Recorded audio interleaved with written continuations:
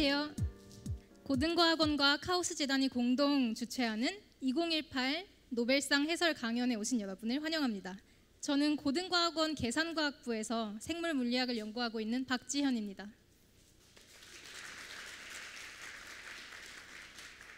어, 오늘 굉장히 많은 분들이 와주셨어요. 지금 뒤에 계단 자리까지 다 채워져 있는 걸 볼 수 있는데 아마도 여기 와 계신 여러분이야말로 정말 노벨상의 본 취지에 맞게 이 노벨상 시즌을 제대로 같이 즐기고 계신 것 같습니다. 우리가 노벨상이라고 하면 과학자들의 꿈, 목표 이런 걸로 생각하기가 쉽지만 사실은 거기까지 갈 수 있게 해준 과학자들의 노력 그리고 그 결과물이 우리 인류에게 주는 도움 그런 것들에 대한 감사의 표현, 경의의 표현이 아닐까 싶고요. 그리고 동시에 이렇게 우리가 달을 가리키는 손가락처럼 노벨상이 어떤 과학적 결과를 가리켜 줄 때 그걸 계기로 해서 그 과학적 결과에 대해서 생각해 보는 그런 기회가 되는 것 같습니다. 오늘 여기 모인 저희가 그 손가락 역할을 해드릴 텐데요. 같이 축제처럼 즐겨주시면 좋겠습니다. 자, 오늘 해설 강연에 대해서 잠깐 안내해 드리겠습니다. 오늘 강연은 기초과학의 산실인 고등과학원과 기초과학의 지식 나눔을 목적으로 설립된 카오스 재단이 공동으로 기획을 했습니다. 순서는 노벨 생리의학상, 노벨 물리학상, 그리고 노벨 화학상 순서로 진행이 될 거고요. 강연은 30분 정도 진행되고 끝나고 잠깐씩 질문 시간이 있습니다. 강연 직후에 질문하시는 선착순 세 분께는 나가실 때 접수대에서 선물을 드린다고 하는데요. 지금 선물을 위해선 빨리 질문하시는 게 좋겠다고 써 있는데 제 생각엔 반대가 아닐까요? 원하시는 바를 이루셨는데 질문에 실패하신 분들께 선물을 드려야 되는 게 아닌가 싶지만 아무튼 질문을 하시면 선물을 드리겠습니다.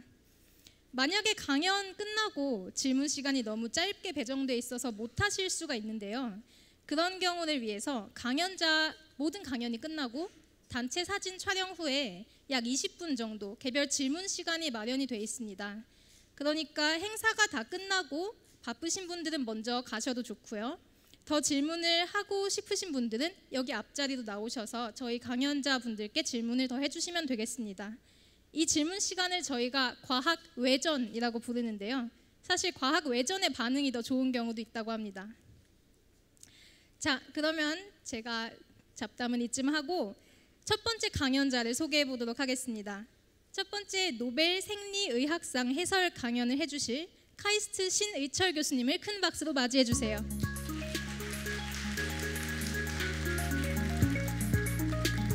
아, 교수님 반갑습니다. 네, 반갑습니다. 네, 교수님 이 자리에 다시 한번 서셨는데 사실 교수님은 2년 전 카오스 강연 물질에서 생명으로에서도 강연을 해주셨잖아요. 예, 맞습니다. 그리고 그 이후에 지금 알아보시는 분들이 계실지 모르겠지만 유명한 TV 프로그램에도 한번 나가셨었고요. 이제 과학자들 중에 대중에게 과학을 전달하는 대중 강연자로서 활동을 좀 하고 계신데 혹시 이렇게 대중에게 소통하는 경험이 교수님께는 어떤 영향을 미치고 있나요? 아, 예, 지금 말씀하신 것처럼 제가 카우스 재단에서 물질에서 생명으로라는 그런 시리즈의 강연에서 한번 대중 강연을 처음으로 해본 적이 있었는데요. 그때 그 강연을 준비하면서 내가 알고 있는 것을 어떻게 쉽게 설명할 수 있을까를 고민을 많이 했었습니다. 아. 그런데 이제 그 강연을 하고 난 후에도 그런 좀 생각을 하는 습관들이 좀 생겼는데요. 아, 그런 것들이 어떻게 보면 또 저의 연구 활동에도 좀 더 큰 도움이 되는 것 같긴 합니다. 아, 저희에게만 도움이 되는 게 아니라 교수님께도 맞습니다. 이게 의미가 있는 시간이군요. 자, 오늘 면역 항암제에 대해서 말씀을 해주실 건데요. 교수님 혹시 올해 면역 항암제가 노벨상을 받게 될 거라고 예상을 하셨나요? 아마 저뿐만이 아니고 많은 뭐 생명과학자, 의학자들이 아무래도 한 3년 이내, 뭐 올해는 꼭 아닐지언정 오. 3년, 뭐 4년 이내는 받을 수 있지 않을까라고 많은 분들이 예상하였던 그런 성과이긴 했었습니다. 그러니까 전문가들이 보기엔 굉장히 중요한 주제군요. 예, 맞습니다. 그렇군요. 네, 이렇게 중요한 면역 항암제에 대해서 이제 들어보겠습니다. 기초부터 임상까지 면역 항암제의 성공 이야기라는 주제로 신희철 교수님께서 강연해 주시겠습니다. 다시 한번 큰 박수 주세요.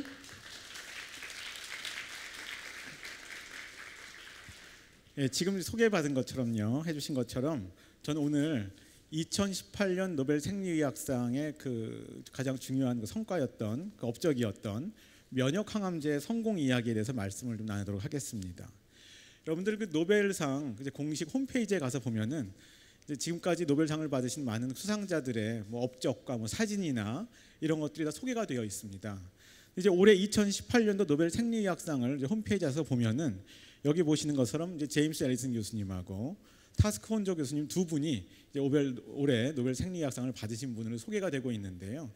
여기 밑에 영문으로 되어 있는 거가 그 홈페이지에 나와 있는 이 두 분이 업적이 무엇인가, 그러니까 이 두 분이 왜 노벨상을 받게 되었나가 이제 영문으로 나와 있습니다. 여기 가장 중요한 제가 두 줄을 제가 이제 밑줄을 그어놨는데요. 이걸 다시 이제 우리말로 제가 이제 보여드리면은 이렇게 이제 번역을 할 수가 있습니다. 음성, 음성이란 게 네거티브라는 말을 이제 번역한 건데요. 억제성 면역 조절을 억제함으로써 암 치료법을 발견했다. 암 치료법을 발견했다는 건 알겠는데 억제성 면역 조절을 억제함으로써 약간 말이 복잡한데요. 이런 수식어가 붙어 있죠. 바로 이 바로 이 면이 이 두 분이 노벨상을 받게 된 그런 업적이라고 할 수가 있겠습니다. 오늘 이제 그거에 대해서 알아보도록 하겠습니다. 자, 여러분들 오늘 이제 면역 항암제 뭐 이런 식으로 얘기를 했으니까 암에 대한 얘기를 안 할 수가 없을 것 같습니다. 사실 우리 현대인들한테는 가장 아직도 두려운 질병 중에 하나가 암이죠. 근데 우리가 주위에서 또 암에 걸리신 분들을 또 만날 수가 있는데요. 이런 분들이 암에 걸리면 지금 현재 뭐 3대 암의 치료법이라고 해가지고 세 가지 방법이 있습니다. 크게 보면은 첫 번째는 뭐 수술적 제거, 두 번째는 방사선 치료, 세 번째는 약으로 하는 뭐 항암제 치료. 말하자면 이런 항암제들은 빠르게 증식하는 암세포를 죽이는 그런 역할을 하는 거가 되겠고요. 특히나 요즘에는 표적 치료, 아마 여러분들 뭐 글리백 이런 거 들어보셨을 겁니다. 이런 것들이 표적 치료도 크게 보면 이런 범주에 들어간다고 볼 수가 있겠죠. 그런데 한 20년, 30년 전부터 이 세 가지만이 아니고 우리가 면역이라는 것을 이용해서 암세포를 죽일 수 있겠다. 그러니까 항암 어떤 면역을 이용할 수 있겠다. 이런 아이디어들이 이미 한 30년 전부터 많이 나오게 되었었습니다. 그런데 그런 말은 많이 나왔는데 성공을 못했습니다. 그러다가 한 최근 5년 전쯤부터 해가지고 이런 것들이 실제 병원 현장에서도 이런 것들이 개발된 그 성과들이 환자들한테 이제 혜택이 가고 있게 되었습니다.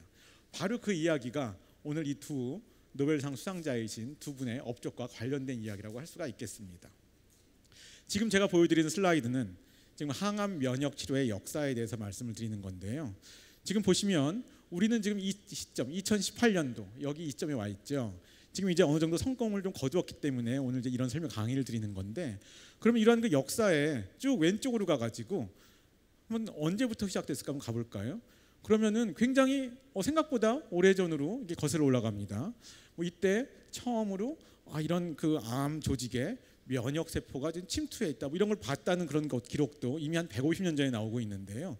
실제적으로 인류가 성공적이었건 성공적이지 않았건 간에 아 그럼 면역을 이용해서 암을 치료해 볼까? 이런 식의 시도는 이미 한 120년 전에 1898년이라고 나오는데요. 이때 이미 좀 시작이 됐었습니다. 그래서 오늘 제가 말씀드리는 거가 뭐 면역 항암제, 항암 면역, 면역 치료 이런 거에 대해서 말씀을 드리는 건데 이미 생각보다 역사가 좀 오래됐습니다. 그래서 이때 1898년도에 이런 거를 처음 시도해 본 분은 여기 나와 있는 미국의 의사인 콜리라는 분이 걸 처음 시작을 했었습니다. 근데 이때는 지금의 시각에서 본다면 굉장히 좀 어떻게 보면 좀 어설픈 방법이었습니다. 이때가 이 시대는 막 새로운 박테리아가 발견이 되고 이러한 박테리아가 어떤 질병을 일으킨다 또 이런 거에 대한 박테리아에 대한 백신이 만들어지고 이러던 시대였었습니다. 아마 이런 분위기 때문이었는지 이분이 어떤 암 환자들에다가 에다가 암 조직에다가 박테리아 처음에 살아있는 박테리아를 막 암 조직에 주입을 했었습니다. 일부러 감염을 시킨 거죠. 또 어떤 경우는 나중에는 뭐 죽은 박테리아를 넣어주기도 했었습니다. 말하자면 지금 이제 현대 시각에서 본다면 뭔가 죽은 박테리아 같은 걸 넣어가지고 면역을 유도해서 한번 뭐 암을 치료해 볼까? 뭐 이런 생각을 했던 게 이제 아니었나 싶습니다. 실제로 그런 아이디어를 했던 거죠. 그러니까 어떻게 보면 현대 시각에서도 뭔가 면역을 기도해서 암을 치료해 본다는 시도는 좀 타당한 것 같기도 한데 굉장히 어설픈 방법이었죠. 정교하지가 않았었고요. 그러다 보니까 아마 현대 임상무 시험 같은 기준으로 본다면 어떤 기준을 통과하지 못했을 겁니다. 그게 무슨 얘기냐면 이런 치료를 아주 많은 환자들한테 하다 보면 아주 드물게 어떤 환자들은 여기 사진에 있는 환자처럼 이 암이 없어지는 경우도 있었습니다. 그런데 굉장히 드문 경우였었습니다. 그러다 보니까 이것이 아주 일관되게 규칙적으로 나타나는 치료 효과도 아니고 하다 보니까 사실 제가 이 치료법은 여기 제가 제목에도 항암 면역 치료의 시작이라고 한 다음에 물음표를 해놨죠. 시작은 맞는데 이것이 그 후대로 계승 발전해서 뭔가 이게 지금 현대로 자연스럽게 이어진 그런 것이 아니었고요. 이때 좀 시작을 해보다가 사실 역사적으로 단절이 됐습니다. 그래서 제가 지금 다시 역사를 보여드리는데요. 이때 1898년도에 이 역사가 있었지만은 지금 다시 건너뛰어서 1957년으로 나오죠. 이런 식으로 50년대, 70년대로 넘어오게 됩니다. 자 그렇다면 이제 그런 좀 어설픈 시작 그거는 좀 단절이 되긴 했지만 그 사이에 그럼 이제 무슨 일이 있었을까요? 그 후에 얘기를 좀 해볼 텐데요. 70년대, 80년대, 90년대에 우리가 알게 된 면역에 대해서 알게 된 것들이 바로 이제 지금 제가 설명을 드리는 건데요. 우리가 면역을 이용해서 뭐 암을 치료한다. 만약에 그 목표가 아무리 좋다고 하더라도 면역 현상이 어떻게 일어나는지 잘 모른다면 이 목표를 성취하기가 어려웠겠죠. 근데 말하자면 100년 전의 시도는 면역 현상이 어떻게 일어나는지 잘 모르는 상태에서 좀 어설프게 시도했던 거였고요. 그럼 그 사이에 무슨 일이 있었는가? 한 70년대, 80년대, 90년대, 2000년대 초반까지 아 치료법은 몰라도 되니까 면역이 어떤 식으로 작동하는구나 이거에 대한 이해가 아주 깊어지게 됐습니다. 이제 이 슬라이드는 그거에 대한 걸 말씀드리는 건데요. 한 가지 좀 눈치가 좀 빠르신 분들은 오늘 항암 면역 반응을 이해한다고 했는데 갑자기 제목이 항 바이러스 면역 반응으로 바뀐 걸 좀 금방 눈치를 채셨을 겁니다. 왜 그런가 하면은요. 여러분들 우리 몸에서 면역 이렇게 정교한 면역 시스템이 진화하게 된 것은 설마 암 때문이 아닙니다. 박테리아라든지 곰팡이라든지 바이러스라든지 이런 외계에서 침입해오는 미생물에 대응하기 위해서 아마 우리 몸이 이런 정교한 면역 시스템을 이제 진화시키게 된 건데요. 실제적으로 바이러스에 대한 면역 반응이 결과론적으로 보면 암에 대한 면역 반응하고 거의 같은 식으로 이루어지게 됩니다. 그렇기 때문에 바이러스에 감염되면 어떤 식으로 면역 반응이 일어나는가를 우리가 좀 더 잘 이해하게 됐는데 그거를 먼저 보고 나서 암을 대입해 보고자 하기 때문에 제가 이런 슬라이드를 넣은 것입니다. 보시면은요. 바이러스에 감염된 세포가 있으면 여기 있는 덴드리틱셀이라고 하는 우리말로 하면 수지상 세포라고 하는 건데요. 이런 것도 이걸 잡아먹습니다. 잡아먹은 다음에 이걸 잘 소화를 시켜서요. 여기 보시면은 바이러스의 어떤 단백질들의 조각들이 여기 위에 이렇게 올라가게 됩니다. 이걸 제시를 한다고 그러는데요. 올라가게 되면 우리 몸에서 바이러스를 제거하는데 굉장히 중요한 세포가 여기 있는 T셀, T세포라고 하죠. 이 T세포가 그것을 이제 인식하게 되는데요. T세포는 T세포 수용체라고 하는 것들을 굉장히 다양한 것을 가지고 있습니다. 그 중에서 요 바이러스, 이때 감염된 바이러스에 딱 맞는 그러한 T세포 수용체를 가진 T세포가 여기 딱 붙게 되면 이 친구들이 굉장히 활성화가 돼서 여기 보면 숫자가 늘어났죠. 모양이 약간 다르게 그려져 있는데 굉장히 이제 아주 활성을 아주 강하게 띈 그러한 T세포가 된 것이 되는 것입니다. 그러면 이 친구들이 다시 바이러스에 감염된 어떤 그런 위치로 이동을 해가지고 여기서 바이러스에 감염된 세포를 제거하는 것이 결국은 이 과정이 바이러스에 대한 면역 반응의 가장 핵심을 이루는 T세포 면역 반응에 대한 이야기가 되겠습니다. 제가 지금 말씀드린 이런 얘기들이 70년대, 80년대, 90년대에 걸쳐서 알려지게 됐다고 그랬는데요. 사실 이 한 장의 슬라이드에 올해 노벨상에 대한 얘기는 아니지만 노벨상이 세 개가 숨겨져 있습니다. 여기 보시는 것처럼 이러한 그 T세포들이 이런 식으로 바이러스에 대한 면역 반응을 매개한다는 것이 96년도에 노벨상을 받게 되었습니다. 또 여기 있는 덴드리틱 셀, 수지상 세포라는 것도 이렇게 T세포를 활성화시키는데 중요한 역할을 하죠. 이걸 발견하신 분이 2011년도에 노벨상을 또 받게 되었습니다. 또 하나 여기 아까 보시면은 바이러스의 항원 단백질 조각이 여기 얹어져 있는 제가 오늘 이름을 말씀 안 드렸는데 여기 나와 있는 이 분자를 발견한 또 업적에 대해서는 1980년도에 노벨상을 이제 받게 되었죠. 자, 그러면 다시 여기서 이제 바이러스에 대한 얘기를 좀 그만하고요. 지금 다 이해를 이제 하셨을 테니까요.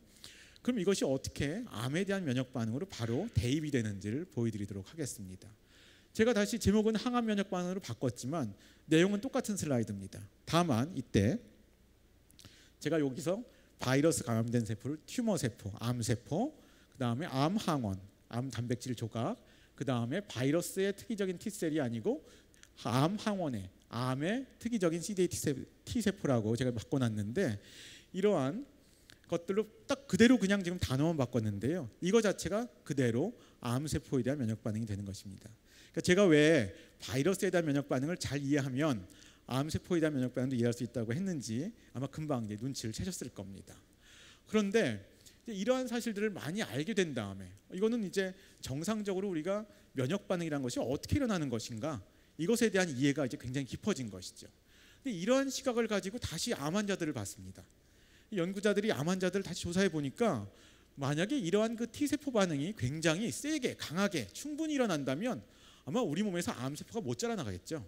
왜냐하면 이런 친구들이 다 T 세포들이 암 세포를 죽여 없앨 테니까요. 그런데 실제적으로 암 환자들을 보면 이러한 T 세포들이 굉장히 약해져 있는 걸 볼 수가 있습니다. 어, 그래서 이제 과학자들이 이해를 하게 된 것이죠. 아, 이렇게 이것이 약해져 있는 것이 문제구나. 그렇다면 우리가 이암 항원에 대해서 약해져 있는 T 세포 반응을 어떻게든 강하게 해주자. 이것이 바로 오늘 주제가 되는 항암 면역, 뭐 면역 치료 이것의 기본적인 어떤 생각이 되겠죠. 그래서 이러한 시도들을 굉장히 많이 했습니다. 사람들이 많이 했는데요. 그때 방법들은 어떻게 하면 이걸 강하게 해줄까? 그 고민을 많이 했던 것입니다. 여러분들 같으면 어떻게 하시겠습니까? 이러한 T세포 반응이 강하다면 이러한 그 암 세포들을 없앨 수 있다면 어떻게든 이러한 T세포 반응을 강하게 하기 위해서 온갖 아이디어를 다 짜겠죠. 그래서 초기에 많은 과학자들이 시도했던 것은 이러한 면역 반응에서 중요하다고 알려진 활성화 인자 이런 것들을 우리가 사이토카인이라고 하는데요. 이런 것들을 약으로 만들어서 넣어주기도 했습니다. 약간 성공하긴 했지만 그다지 성공적이진 않았습니다. 어떤 과학자들은요, 아예 이러한 T세포들을 환자 몸에서 꺼내 가지고 시험관 내에서 아주 강하게 훈련을 시켜서 다시 그 세포를 넣어줬습니다. 그랬더니 조금은 또 성공적이었는데 그다지 또 인상적인 성공은 아니었습니다. 이것이 제가 아까 처음에 말씀드린 것처럼 개념은 있었지만 별로 성공하지는 못했다라고 말씀드린 바로 그러한 내용이 되는 것입니다. 다시 여기 이제 제가 항암 면역 치료 역사라고 말씀드린 슬라이드로 넘어왔는데요. 이것이 사실은 한 80년대, 90년대, 2000년대 초반까지 이러한 항암 면역 치료에 있어서 많은 시도들은 했지만 약간의 성공은 했지만 아주 크게 환자들한테 아주 널리 도움은 안 됐던 그러한 좀 애매했던 좀 면역학자들 입장에서는 고생을 많이 했던 그러한 어떤 시기라고 볼 수가 있겠습니다. 조금 아까 보여드렸던 항암 면역 반응을 좀 더 그냥 다른 그림으로 다시 보여드리는 거가 되겠는데요. 마찬가지 그림이 되겠습니다. 여기 암이 있습니다. 암 세포로 구성된 암 조직이 있는데요. 여기서 dendritic cell, 수지상 세포라고 하는 것들이 이런 암 세포를 잡아먹고서는 가지고 림프절로 옵니다. 아까 먼저 그림에서는 림프절 구조는 안 그려져 있었는데요.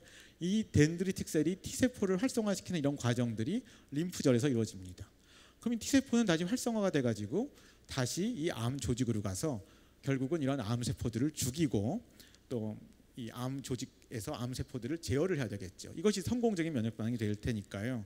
결국 어떻게 하면 이런 것들을 활성화시킬까 하던 것들이 바로 이러한 항암 면역 반응을 연구하는 과학자들의 고민이었습니다. 다시 거의 처음 슬라이드로 돌아왔습니다. 이렇게 그다지 성공적이지 않았던 항암 면역 치료의 그 연구의 역사에서 이 두 분이 사실은 어떤 획기적인 돌파구를 열게 된 것이죠.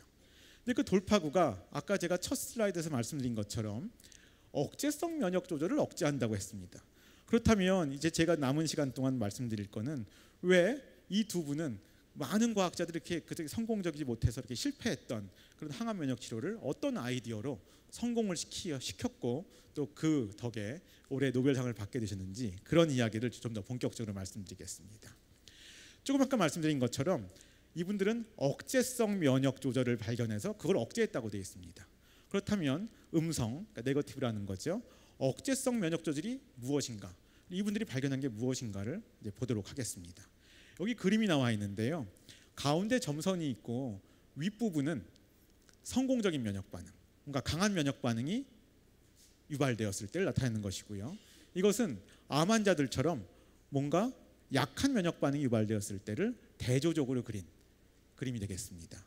아까 제가 보여드렸던 그런 그림과 마찬가지로 좋은 강한 면역 반응 유도가 되면은 이 T 세포들이 암 세포 여기서 이제 바이러스에 감염된 세포도 같이 그려져 있는 것이긴 합니다만 이러한 그 암 세포나 바이러스에 감염된 세포를 성공적으로 죽이게 됩니다.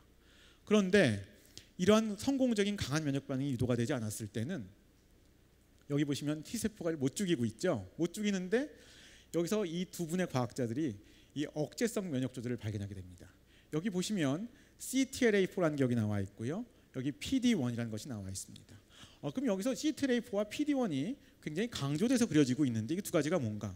아주 한마디로 요약해서 말씀드리면은요. 이러한 성공적이지 못한 면역 반응이 일어날 때는 이러한 T 세포에 CTLA4와 PD1이 과발현을 하는데 이 두 가지 단백질은 T 세포를 억제하는 억제성 신호를 전달하는 역할을 합니다. 어떻게 보면 T 세포를 활성화시키는 요소들이 아니고 T 세포를 억제하는 것들입니다. 이렇게 되면 약간 이해가 되시죠? 왜 이 이러한 그 성공적이지 못한 약한 면역 반응에서는 왜 면역 반응이 약한가? 바로 이러한 T 세포들의 반응을 억제하는 CTLA4나 PD1이 너무 많이 발현돼 있어서 그렇다는 것을 알게 된 것입니다. 그렇다면 이러한 그 CTLA4나 PD1은 우리 몸이 원래 가지는 단백질입니다. 원래 이런 단백질들의 역할은 뭘까요? 좀 이상하죠. 그럼 암 환자들에서 면역 반응이 강하지 않게 일부러 하려고 이런 것들을 우리 몸이 가지고 있을까요? 그런 것보다는 뭐 바이러스라든지 이런 감염이 됐을 때 상황에 따라서는 너무 강한 면역 반응이 일어나면 우리 몸에 또 오히려 해가 됩니다. 그런 것들을 막기 위해서 이 CTLF나 PD1은 면역 반응의 강도를 적절하게 제어하기 위해서 원래 우리 몸에 있는 것입니다. 그렇기 때문에 우리가 이런 것들을 면역 관문이라고 부릅니다. 이민 체크포인트라고 부르는데요. 면역계에 존재하면서 면역계에 적당히 브레이크를 잡아주는 역할을 하는 것들을 우리가 면역 관문, 이민 체크포인트라고 하는데 이 CTLA4와 PD1이 바로 이러한 이민 체크포인트, 면역 관문의 대표적인 사례가 되는 것이고요. 이러한 면역 반응이 일어나는 것들이 주로 암 환자나 만성 바이러스 감염 환자에서 일어난다는 것을 이제 알게 된 것이죠.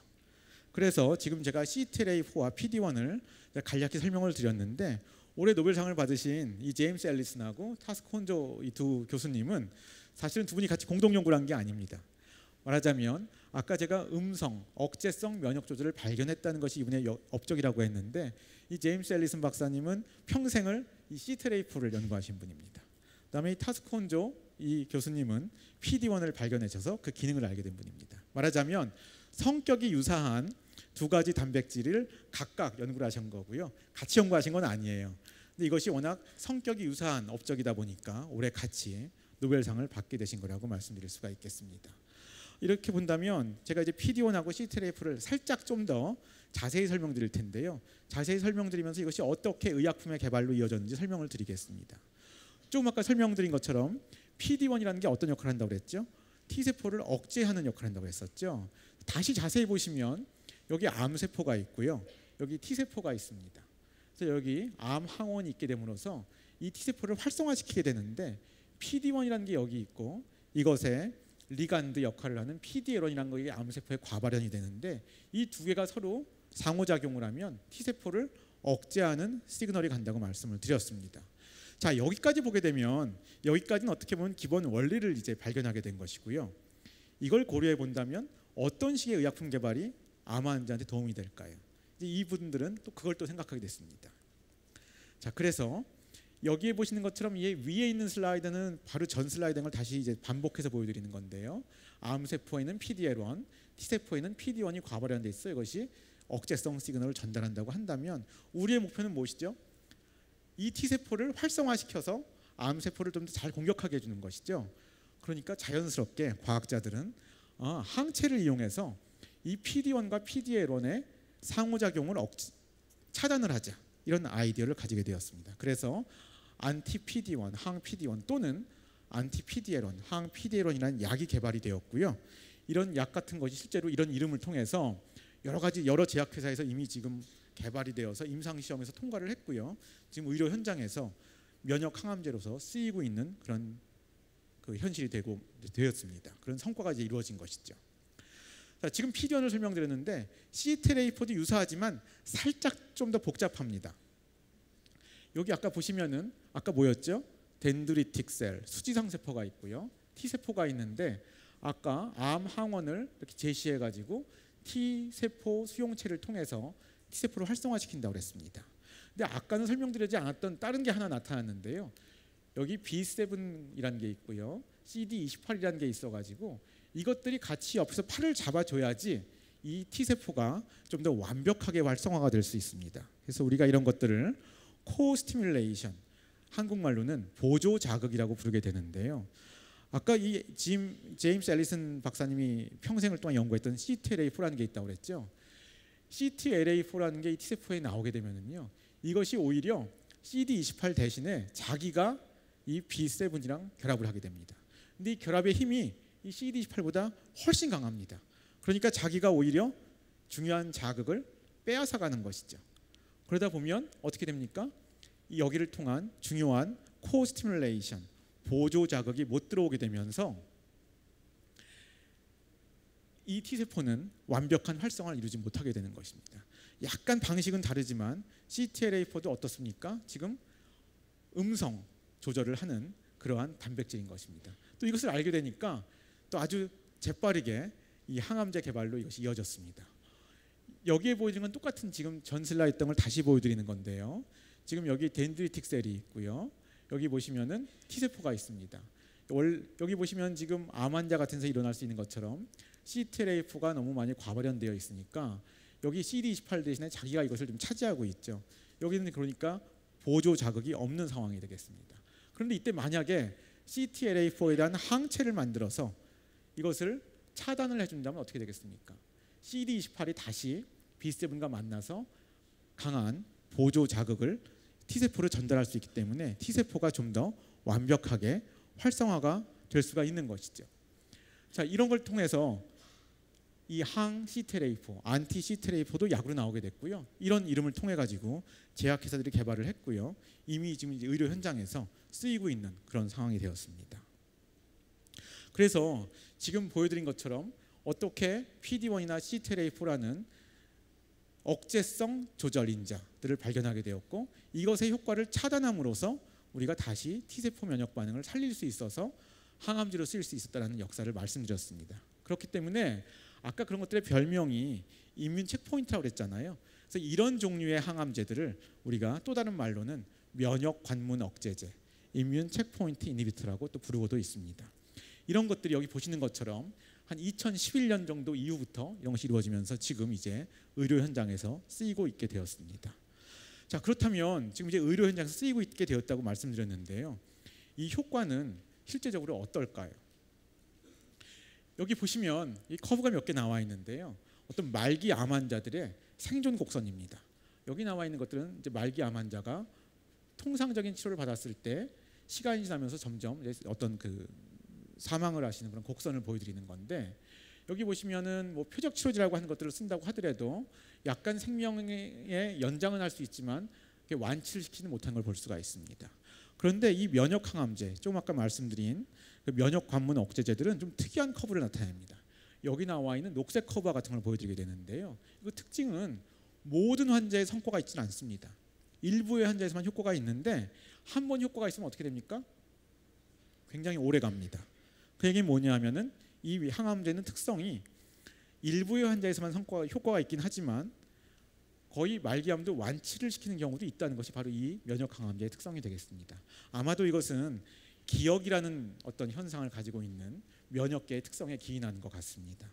여기 빨간색의 이 곡선은 가상의 선입니다. 아직은 현실적으로 우리가 성취하지 못한 곡선인데 이러한 것들이 점점 개발되다 보면 이러한 곡선을 빨간색으로 올릴 수가 있을 것이라고 기대하고 있고요. 이렇게 된다면 이것이 바로 어떻게 보면 말기암의 완치가 될 수가 있는 것이 되겠죠. 이런 것들이 현재 과학자들이 꿈꾸고 있는 그런 꿈이라고 할 수가 있겠습니다. 여러분들 혹시 이분이 누군지 아세요? 이제 아시는 분들 계시겠지만은 그 지미 카터 미국의 이제 전, 옛날 전 대통령이시죠. 근데 이 면역 관문 억제장 관련해서 재미있는 일화가 있습니다.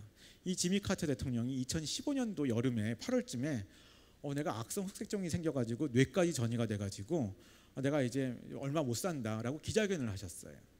그런데 이분이 한 3, 4개월에 12월 달에 다시 기자회견을 하면서 내가 그동안에 새로운 치료를 받았는데 내가 완치가 됐다라고 얘기를 하셨습니다. 그게 3년 전이죠. 지금까지 살아 계십니다. 근데 그때 그분이 받으, 받으셨던 그 항암제가 아까 anti PD1, 항 PD1 바로 이때 개발되었던 이 항암제였었습니다.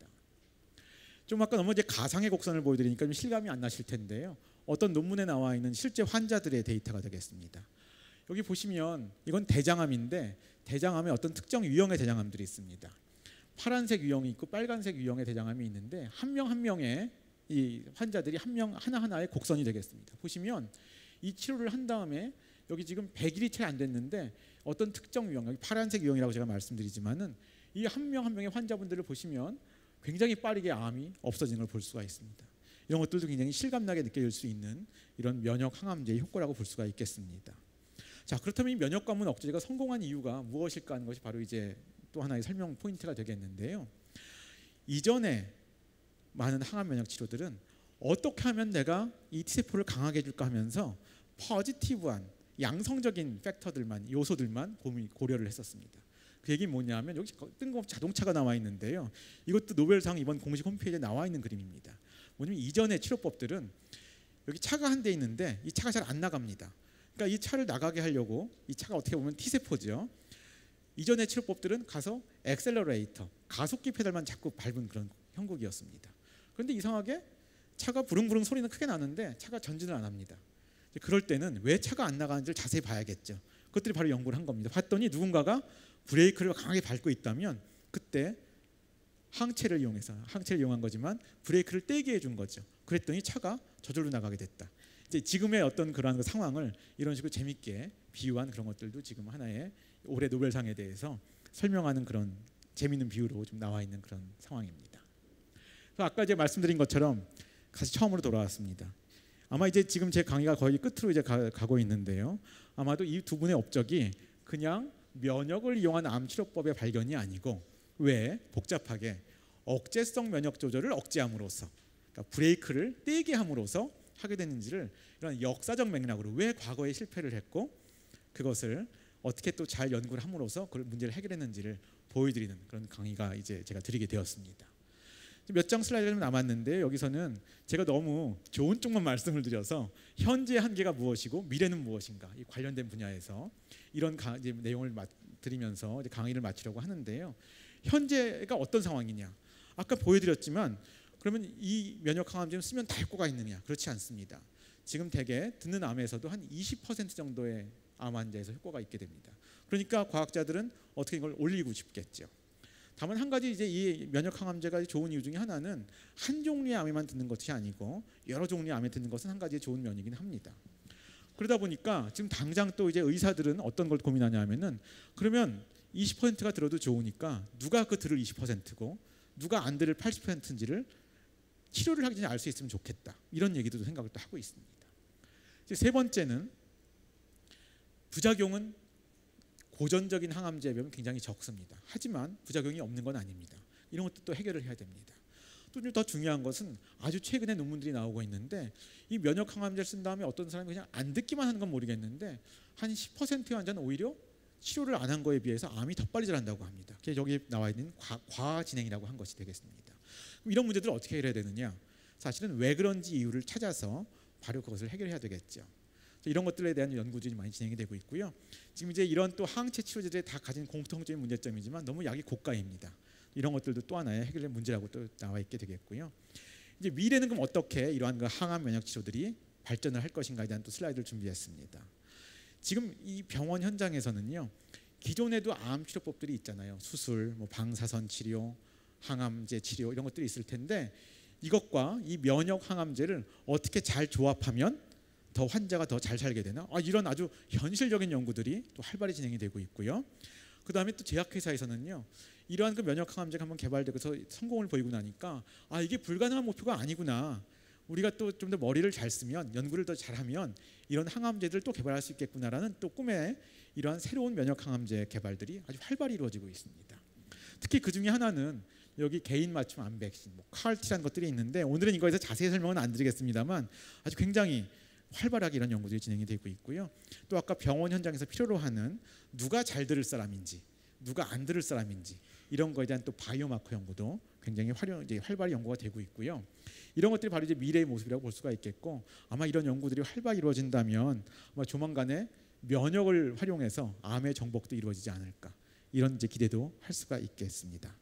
마지막 슬라이드입니다. 마지막 슬라이드는 제 제목 자체가 기초부터 임상까지였는데요.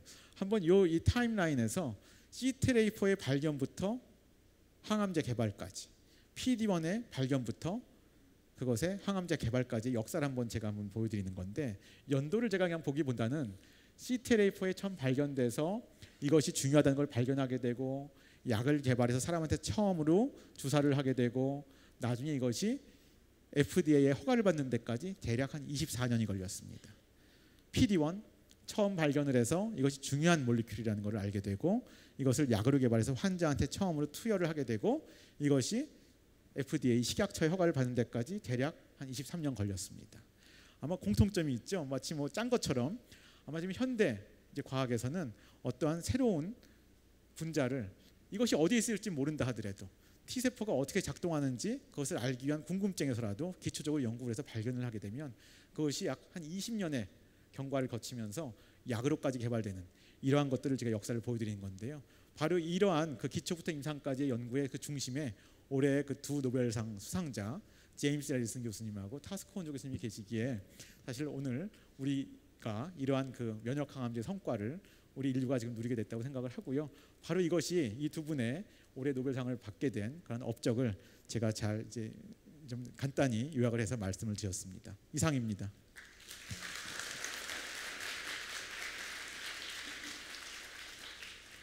네, 그 경청해서 감사드리고요. 그 한 질문을 한 세 개 정도 받도록 할 텐데요. 질문 있으신 분들은 좀 손을 좀 들어주시기 바랍니다. 예, 저기 저 뒤에 맨 예, 왼쪽에 제가 보기에 왼쪽에 지금 두 분 손 드셨는데 제가 보기에 왼쪽에 계신 분이 먼저 손 드신 것 같아요. 예. 오른쪽에 계신 분이요. 어, 네, 강의 잘 들었고요. 궁금한 게 있어서 질문 드리려고 하는데요. 이게 항암제라는 게 사실은 아까 얘기 들은 거를 제가, 제가 이해한 게 맞다면 그 과 그게 너무 많이 일어나지 않도록 하는 그런 것들을 억제를 해서 그 T 세포를 더 강화해 주는 역할이라고 하셨는데요.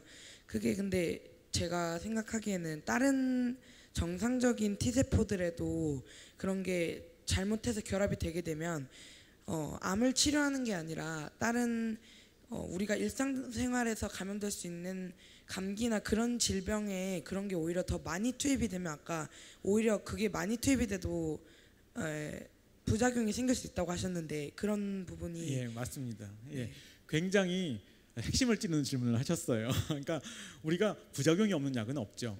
그런데 지금 우리가 제가 이렇게 아까도 좋은 면을 또 얘기하다가 현재 문제점도 하나 얘기했는데 부작용이 있다고 아까 말씀드렸죠. 근데 부작용의 방향이 맞습니다. 무슨 얘기냐 하면 PD1 이것이 우리 몸에 아까 왜 있다고 그랬죠?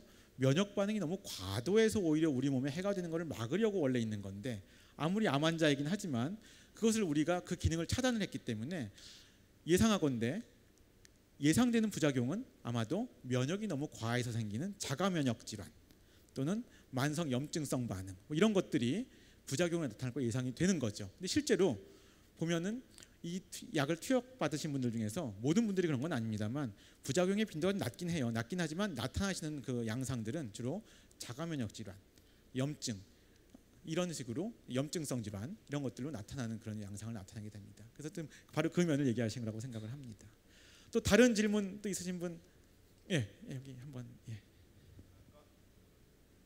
아까 면역 항암 치료의 장점이 항상 그 response가 되는 군에서는 완치가 되는 거라고 하셨잖아요. 그러니까 항상 완치가 되는 건 아니, 항상이 예, 아니고 그러니까 그 그런 경향이 있다는 거죠. 받는 예. 군의 지미 카터 대통령 예, 예, 마찬가지로. 근데 그 암세포는 계속 변이를 누적하면서 이제 약간 자연 선택처럼 계속 진화하는 경- 이렇게 암 치료를 어렵게 하는 요인으로 알고 있는데 그러면 면역 항암 치료를 받은 군에서는 어떻게 완치가 될 수 있는지 아, 알겠습니다. 예. 아마도 우리가 무슨 아마 질문하신 거는 뭐 수술을 하거나 뭘 하더라도 조금이라도 남아 있는 암 세포가 다시 자라나서 이제 우리가 재발을 한다. 이게 암 환자들은 그게 문제가 아니냐. 그런데 어떻게 이러한 그 면역 항암제를 투여받으면 완치가 되는 경우도 생기느냐? 이게 질문인데요. 이게 아까도 제가 잠깐 지나가면서 말씀드렸지만 우리가 실제적으로 뭐 바이러스 같은 거는 백신을 맞으면 그 백신 같은 경우는 어렸을 때 맞은 게 평생 동안 이제 이것이 지속되기도 하잖아요. 우리가 이제 기억 반응이라고 얘기를 하는데 아마 이제 충분히 아직 연구가 되진 않았지만 상상을 해보면은 우리가 그러한 그 이제 이러한 그 투여에 의해서 T 세포가 충분히 활성화가 돼서 면역 세포를 죽였습니다. 아, 암 세포를 죽였습니다. 근데 암 세포를 죽였는데 그때 굉장히 그 암 항원이 이 암이 암 세포가 암 세포가 되는 무한 증식을 하는데 굉장히 중요한 유전자에서 생 유발되는 항원이라면 이 암 세포는 이러한 항원을 버릴 수가 없습니다. 그러니까 가져야 되는 건데 이것이 만약에 그 T세포가 공격하는 바로 그 항원의 타겟이라면 사실 그런 경우는 한 번 생긴 그 기억 T세포가 또 암세포가 조금 또 생기려고 그러면 다시 또 죽여주고 거의 뭐 바이러스에 대한 백신이랑 거의 비슷한 그런 원리로 평생 동안도 그런 기억이 아주 좋은 경우에는 생길 수도 있다고 생각은 저희가 세- 예상은 하고 있습니다만 이런 것들을 실제적으로 실험적으로 또 증명한 바는 아직은 또 이렇게 충분히 많이 있지는 않습니다. 어, 저희가 질문이 한 분을 더 받기로 하겠는데요. 한 분 더 받고요. 아마 질문이 많으실 텐데 저희 그 전체 강의가 끝난 다음에 질문 시간이 또 따로 있는 걸로 알고 있습니다. 그래서 이제 마지막 질문 굉장히 아, 질문에 꼭 하고 싶다 하시는 분 한번 예, 가장 먼저 드신 분이 저기 그 계단에 가운데 앉아 계신 분이 가장 먼저 손을 드셨습니다.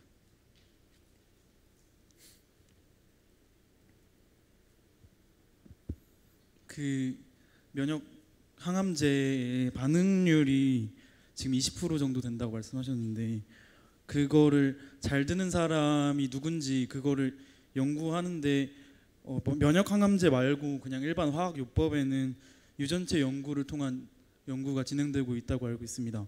그러면 혹시 유전체 연구가 이 면역 항암제에도 반응률을 조사하는데 영향이 있을지 그렇다면 어떤 방향일지에 대해서 여쭤보고 싶습니다. 예, 오늘 질문이 굉장히 이렇게 고 아주 그 높은 수준의 질문들을 많이 해주시는데요. 실제적으로 지금 말씀하신 그런 바로 그런 포인트의 연구들을 지금 많이 하고 계시고요. 어, 약간 좀 더 부연 설명을 해드리면은 저희가 이런 그 면역 항암제가 처음 개발된 다음에 그 제약회사에서 임상 시험을 하는데 처음에는 뭐 악성 흑색종, 그 다음에 뭐 폐암 이런 식으로 암별로 임상 시험을 했습니다. 했는데 어떤 암에서는 효과가 좋았고 어떤 암에서는 효과가 없었어요. 근데 효과가 있는 암에서 한 20 내지 한 25% 정도의 환자가 이제 반응을 보였습니다. 근데 그럴 때 이제 말씀드린 이제 아까 드린 것처럼 누가 잘 들을지 안 들을지 예측하는데 지금 가장 기본적으로 많이 하고 있는 게 하나 있습니다. 하나 있긴 합니다. 그게 뭐냐면은 우리가 이제 암을 저희가 생기면 암 조직을 이제 그 생검이라고 해가지고 얻게 되는데 그래서 병원에서는 병리 검사를 한다고 그러죠. 하는데 그때 PD1과 PDL1이 상호 인- 이 상호작용을 해야지 이 약이 잘 들을 거다. 왜냐하면 PD1과 PDL1이 상호작용을 해야지 우리가 차단하는 효과가 있을 거라는 그 예상하에 이 암세포에서 PDL1이 발현을 많이 하는지 안 하는지 조사를 합니다. 그것도 하나의 마커입니다. 그래서 PDL1을 아마 많이 발현하는 암일수록 이 약이 잘 들을 거다라는 생각으로 그 검사를 하고 있고요. 실제적으로 그건 어느 정도 이용이 되고 있습니다.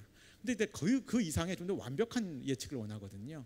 그렇기 때문에 지금 가장 활발히 되고 있는 것이 지금 질문하신 분이 얘기하신 것처럼 우리가 이 암 조직에 요즘에 뭐 NGS라고 그러죠 유전자 검사를 통해서 어떤 유전자가 발현이 많이 될수록 이런 환자들이 면역 항암제가 좀 더 많이 잘 들을 것인지 이런 것에 대한 연구들이 지금 활발히 진행되고 있습니다. 네, 그세 분의 질문을 다 받았는데요. 아마도 궁금하신 점이 더 많이 있으시겠지만 이따가 모든 강의가 다 끝난 다음에 다시 또 질문과 응답을 하는 시간을 가지도록 하겠고요.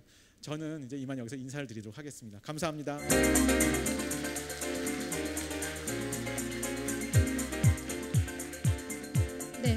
초 과학에서부터 신약 개발까지 굉장히 거대한 이야기를 재미있게 들려주셨는데요. 신희철 교수님께 다시 한번 박수 부탁드리겠습니다. 네. 어, 방금 들으시면서 눈치채셨겠지만 현대과학의 발전은 정말 많은 과학자들의 노력을 모아서 그리고 처음에는 굉장히 달라 보이는 분야의 발전이 모여서 이루어집니다. 오늘 들려드릴 세 개의 강의도 처음 보실 때는 굉장히 달라 보이실 수도 있겠지만 사실은 한 분야가 다른 분야에 영향을 미치기도 합니다. 그래서 좀 더 재미있게 들어보시려면 아, 지금 듣는 강의가 아까 들은 강의에 어떤 영향을 줄 수 있을까? 또 반대로는 어떤 어, 상호 도움을 줄 수 있을까? 이런 걸 고민해 보시는 것도 좋을 것 같습니다. 그러면 두 번째 강의를 시작해 볼 텐데요. 노벨 물리학상 해설 강연을 해주실 카이스트 물리학과 이상민 교수님을 박수로 모시겠습니다.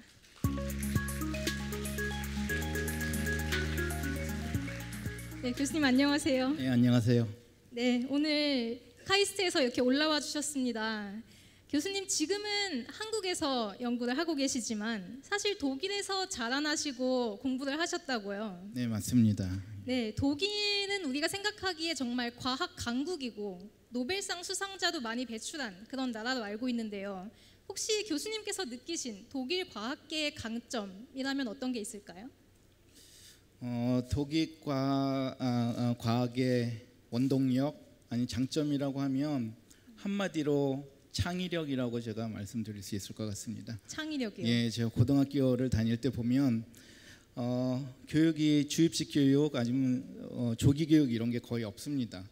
그래서 이제 생각을 많이 하게 하는데 어떤 저희가 프레임을 이렇게 가르치면 거기에 따른 이제 기초 원리를 생각하는 거를 좀 잃게 되잖아요. 근데 독일은 그런 오히려 역으로 창의적인 생각을 많이 하게 교육을 하는 것 같고 그게 결국은 과학에서도 창의력을 많이 필요로 하는데 그게 경쟁력이 되는 것 같습니다. 어, 그렇군요. 그래서 우리 교수님께서 지금 굉장히 창의적인 연구를 많이 하고 계십니다. 감사합니다. 오늘 레이저 물리학에 대해서 말씀을 해주실 거예요. 근데 올해 노벨상이 레이저에 주어졌는데요. 사실 레이저 분야의 노벨상이 주어진 게 이번이 처음도 아닙니다. 그런데 우리가 그냥 생각하기에 레이저가 대체 왜 그렇게 중요한 건가 하는 생각이 드실 수가 있는데 혹시 잠깐 설명해 주실 수 있을까요? 예, 지금까지 노벨상을 보면 과학에서 레이저 관련된 게 한 20개 정도는 되는 것 같아요. 얼추 어, 어림잡아. 정말 많네요. 근데 이제 노벨의 유언 취지를 잘 보면 물리적인 어떤 새로운 발견 혹은 발명이라고 되어 있습니다. 근데 이 두 가지 취지를 잘 잡을 수 있는 게 토끼를 잡을 수 있는 게 레이저 기반의 물리학이 아닌가 생각합니다. 그래서 어떤 새로운 현상을 유도해서 발견, 발견을 할 수가 있고 또 레이저 기반으로 획기적인 발명을 해서 인류에 되게 유익한 도구가 될 수 있다고 생각합니다. 아마 그게 그 원인이 아닐까 생각하고 있습니다. 아 그렇군요. 그러면은 레이저 물리학 분야의 대변혁을 가져온 발명 그리고 발견에 대한 이야기를 들어보겠습니다. 박수 주십시오. 예. 감사합니다. 소개받은 카이스트 물리학과 이상민입니다. 이제 제가 오늘 말씀드릴 거는 금년 노벨 물리학상에 대해서 말씀드릴 건데요.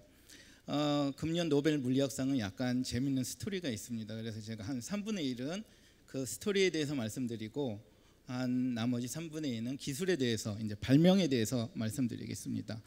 아까 우리 발표해 주신 신의철 교수님 같이 저도 노벨상 홈페이지에 들어가면 거기에서 가져온 그림인데요. 아, 이번 노벨상을 보면 물리학 분야에서 아, 레이저 물리학 분야에서 획기적인 발명 이게 키워드입니다. 근데 보면 두 분야의 세 분의 어, 과학자들이 이제 노벨상을 탔습니다. 한 분은 아더 애쉬킨이라는 분이 이제 저희 집게 알죠? 집게 핀셋 이거를 레이저를 가지고 만든 겁니다. 그래서 이걸 optical tweezer에 대한 공로에 의해서 노벨상이 2분의 1을 타셨고 나머지 제라드 무로 교수님하고 도나 스트리클랜드 교수님이 아주 짧은 펄스, 극초단 펄스, 아직 개념을 모르겠지만 제가 이제 말씀드릴 겁니다. 그것을 어떻게 효율적으로 증폭할 수 있는 획기적인 증폭 기술에 대해서 두 분이 같이 노벨상을 탔습니다. 이 두 분은 서로 사제지간입니다. 거기에 대해서도 제가 좀 말씀을 드리겠습니다. 어, 노벨상 홈페이지에 가면 이런 말이 써, 있, 써 있습니다. 빗으로 어떤 획기적인 도구를 만들었는데 이, 어, 이걸 통해서 실질적으로 저희가 아직까지 미개척 분야 알고 싶은데 알지 못하는 이런 새로운 기초과학 연구도 할 수도 있고 아니면 산업용으로 아니 의학용으로 여러분들 다 라식 알지요? 이런 라식 이런 것들 기반이 이제 레이저를 가지고 저희가 아, 응용하는 기술인데요. 그런 것들을 많이 응용할 수가 있습니다. 그럼 한 분씩 어, 잠깐 한번 저희가 보면 이제 아더 에스킨 교수님은 보면 지금은 은퇴하셨죠. 근데 연세가 97살입니다. 그래서 요 전까지 노벨상의 최고 고령자의 나이는 노벨 경제학상 90살인데 그거를 기록을 깼죠.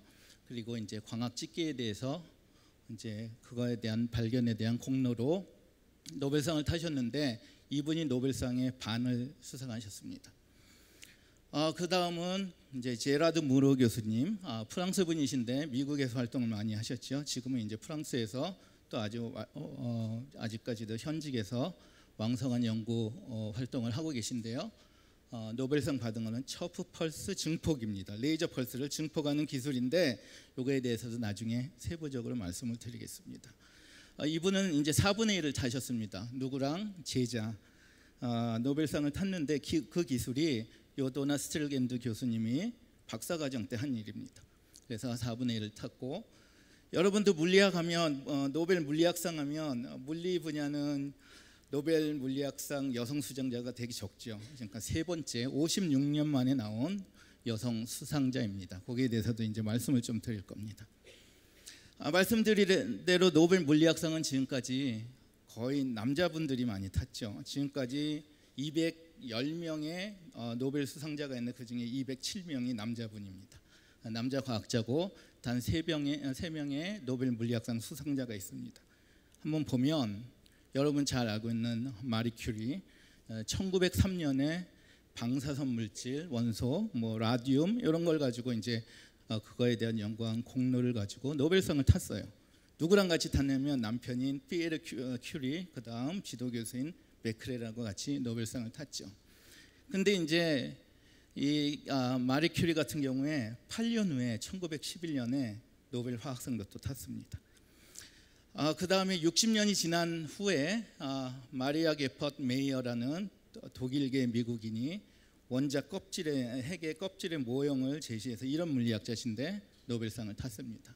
그리고 이번에 이제 세 번째 노벨 물리학상 수상자가 나왔죠 여성. 근데 이제 다른 분야도 한번 봤습니다. 화학에서 다섯 분이 있어. 화학도 여성 수상자가 아직까지 많지가 않습니다. 근데 요 중에 한 분이 또 메리 큐리고요. 그 다음에 어, 의학, 생의학 쪽에서는 12분이 타셨습니다. 좀 많고 문학에서는 14분. 과학에서도 앞으로 많은 여성 과학자분들이 노벨상을 탈 거라고 기대하고 있습니다. 근데 이제 노벨 물리학상의 이제 기본 취지를 아까 초반에 제가 좀 말씀드렸는데 한번 보시면 노벨 물리학상은 노벨의 유언에 나와 있습니다. 물리학하면 물리적인 획기적인 발견, 현상에 대한 발견, 설명 이런 걸 가지고 노벨상을 타는지 알지만 실질적으로 여기는 이렇게 돼 있습니다. 물리학 분야에서 가장 중요한 발견이나 혹은 발명을 한 사람한테 노벨 물리학상을 수여한다 이렇게 되어 있습니다. 실질적으로 요거는 저희 과에 있는 이제 안재혁 교수님의 어, 자료를 제가 받아온 건데 2000년 이후부터 노벨상을 탄 사람들의 어, 노벨 물리학상을 쭉 리스트업을 해봤습니다. 그래서 여기 빨갛게 진하게 쓴 네 가지를 보면 반도체 기반의 다중구조, 그 다음에 optical fiber, 어, 광섬유죠, CCD 센서, 아주 고감도 센서, 그 다음 blue light 어, LED, blue LED는 여러분들 들어보셨죠? 뭐 이런 레이저 발명 이것들이 다 발명에 관한 겁니다. 그리고 다 광, 어, 광학 아, 빛을 가지고 빛과 연관되어 있는 거고요. 그 위에도 보면 여기 이제 저 빨간색으로 써 있는 2017 라이고 뭐 gravitational wave 중력파 노벨상 받았죠. 거기에 기본 핵심 기술은 또 레이저가 들어간 간섭계입니다. 그 다음에 2012년도에 뭐 퀀텀 시스템, 양자 시스템 여기도 기본적으로 빛을 가지고 하는 연구가 됐고요. 2005년, 그 다음에 2001년 다 보면 2000년 이후에 노벨상을 받은 분야가 광학과 관련된 분야입니다. 레이저 기반. 그래서 광학이라는 분야는 물리학 분야에서 한 분야지만 되게 노벨상을 많이 타는 분야라고 할 수도 있죠. 그래서 보면 2000년 이후에 보면 지금까지 원자, 분자, 광 물리학 요 분야에서 노벨상이 한 3분의 1 정도가 나왔고요. 노벨 물리학상이 나머지 3분의 1은 천체, 고에너지, 그다음 응집 물리 이런 분야에서 노벨상이 나왔습니다. 근데 이제 노벨상을 보면 노벨상의 특징은 뭐냐면 돌아가신 분한테 노벨상이 수여가 되지 않습니다. 그래서 노벨상은 사후 수여하지 않습니다. 이미 세상을 떠나신 분한테는 과학자한테는 수상이 불가능한데 예외가 지금까지 한 분이 계셨습니다. 아까 우리 신희철 교수님 발표하실 때 랄프 슈타인맨이라는 면역학자가 나왔죠. 이분이 어, 노벨상 타시기 3일 전에 돌아가셨습니다. 근데 그 전에 노벨상이 결정됐기 때문에 예외적으로 노벨상을 타신 걸로 어, 알고 있습니다. 그러면 아까 말씀드린 아, 아더 에시킨 박사님이 97살로 지금 이제 가장 나이 많은 기록을 깨셨죠. 그 전에 뭐 경제학에서 뭐 90, 뭐 연배가 많으신 분이 탔습니다. 앞으로는 제가 보기에는 100세 넘으신 과학자도 조만간 나오지 않을까 생각하고요. 그 다음에 그러면 최연소 수상자 나이는 어떤가 보면 노벨 평화상이 있었습니다. 17살. 근데 이제 과학 쪽에서 보면 30대 초반 다 30대 거의 물리학 분야에서 최연소 수상자가 나왔는데 여기 보면 윌리엄 로렌스 브래그가 있는데 이거는 아들이 아버님 어, 브래그랑 같이 노벨 물리학상을 받았죠. 브래그 하면 여러분들 브래그 공식, 엑스레이 회절, 간섭 요거에 대한 공식을 어, 만든 그 공로로 의해서 노벨상을 탔죠. 아 그러면 저희가 이제 노벨상이 하나의 어, 이번 노벨상의 두 개의 획기적인 발명에 대해서 하나씩 한번 저희가 한번 보도록 합시다. 집게, 집게는 알겠는데 광학 집게가 뭔지는 잘 모르겠죠. 여러분들 이제 물체가 작아지면 쌀 같은 거 저희가 이게 엄지 검지로 이렇게 잡을 수 있겠죠. 좁쌀 정도가 되면 어떨까요? 저희가 잡기가 되게 힘들어요. 그렇죠? 너무 작으니까. 그럴 때 사용하는 건 뭐예요? 저희가 그냥 핀셋, 집게를 사용해요. 근데 입자의 사이즈가 점점 점점 작아지면 핀셋을 가지고도 잡을 수가 없대요. 잡다 보면 손상을 시킬 수 있고. 그래서 하는 방법이 이런 아주 작은 입자한테 레이저 빛을 집속해서 쏴주면 빛으로 입자를 포획을 할 수가 있습니다. 그래서 위치를 옮길 수도 있고 움직임을 정지시킬 수도 있죠. 그래서 보면 광학 집게 한국말로는 그런데 optical tweezer 영어로는 아니면 single beam gradient force trap이라고 얘기합니다. 빛으로 트랩을 하는 거예요. 포획을 하는 건데 어떤 레이저 빛을 집속 어, 물질에 작은 물질한테 이렇게 집속을 하면 요 초점 주위를 이렇게 끌어다니는 힘과 이제 물체에 작용한 전체 어, 운동량의 총 운동량 보존 법칙에 의해서 입자가 이렇게 포획되는 겁니다. 그래서 빛이라는 거 저희가 파동으로도 볼 수 있지만 입자예요, 그렇죠? 어, 빛은 어, 입, 어, 입자로 이루어져 광자라고 얘기하죠. 광자가 이렇게 어떤 다른 물질로 들어갈 때 들어가서 나올 때 보면 서로 굴절율이 다르기 때문에 빛이 이렇게 꺾입니다. 꺾임으로 인해서 운동량이 변하고 운동량이 변함에 따라서 요 어, 빛에 의한 강압차가 생기고 그래서 입자는 어, 어, 빛이 입자를 이렇게 끌어들이는 그런 기본적인 원리인데요. 입자는 빛 세기가 가장 센 레이저 빛의 초점 중앙에 이렇게 포획이 됩니다. 근데 이제 입자의 형태가 구형태로 됐을 때 서로 어, 어, 등방성이 있죠. 그런 경우 훨씬 더 잘 포획이 되고요. 이 기본 기술인데요. 그러면 아더 에스킨 교, 어, 교수님이 탄 노벨상의 주요 논문은 뭐냐 하면 1986년에 옵틱스 레터스라는 광학 쪽에서는 유명한 이제 국제 저널인데요, 잡지인데 이게 지금까지 한 6,200번 어, 타 과학자들에서 인용이 됐습니다. 근데 여러분들 잘 보시면 여기 아더 애쉬킨 교수님이 일저자지만 쭉 보다 보면 마지막 저자에 누가 있어요? S 추라고 돼 있어요. 스티브 추. 여러분 스티븐 추 누군지 아시나요? 스티븐 추 어, 전에 미국 에너지부 장관도 하셨고요. 이분은 1997년에 이미 노벨상을 받았습니다. 노벨상을 받았는데 이분이 받은 노벨상은 레이저를 가지고 이제 입자 사이즈를 더 작은 원자를 포획하고 냉각하는 기술로 그리고 거기에서 일어난 새로운 물리적인 현상 발견으로 노벨상을 받았죠. 근데 거기에 기본 기술은 뭐냐면 이 광학 집게의 기술이었습니다. 근데 이 아, 에다 아, 아, 에슈킨 박사님은 실질적으로 이 논문이 사이트가 많이 됐지만 2000, 1970년도도 기본적으로 제목을 보면 뭐냐면 어떤 어, 빛에 의한 압력에 의해서 어떤 입자를 가속도 시킬 수도 있고 트랩도 할 수 있고 포획도 하고 이런 이런적인 논문 내, 내셔서 이제 꾸준히 연구를 해왔죠. 그래서 스티브 추 교수님이 노벨상을 받을 때 어, 노벨상을 받을 때 그때 그때 아마 어, 에슈킨 박사님도 같이 받을 거다 이런 얘기가 있는데 받지 못했는데 그 20년이 지난 지금 어, 받았습니다. 그래서 이런 이런 광합 집게를 어디 응용할 수 있는가 보면 실질적으로 의학 생물학에 많이 응용이 되고 있고 아주 고해상도 현미경 뭐 이미징 시스템 이런 데 많이 응용이 되고 있습니다.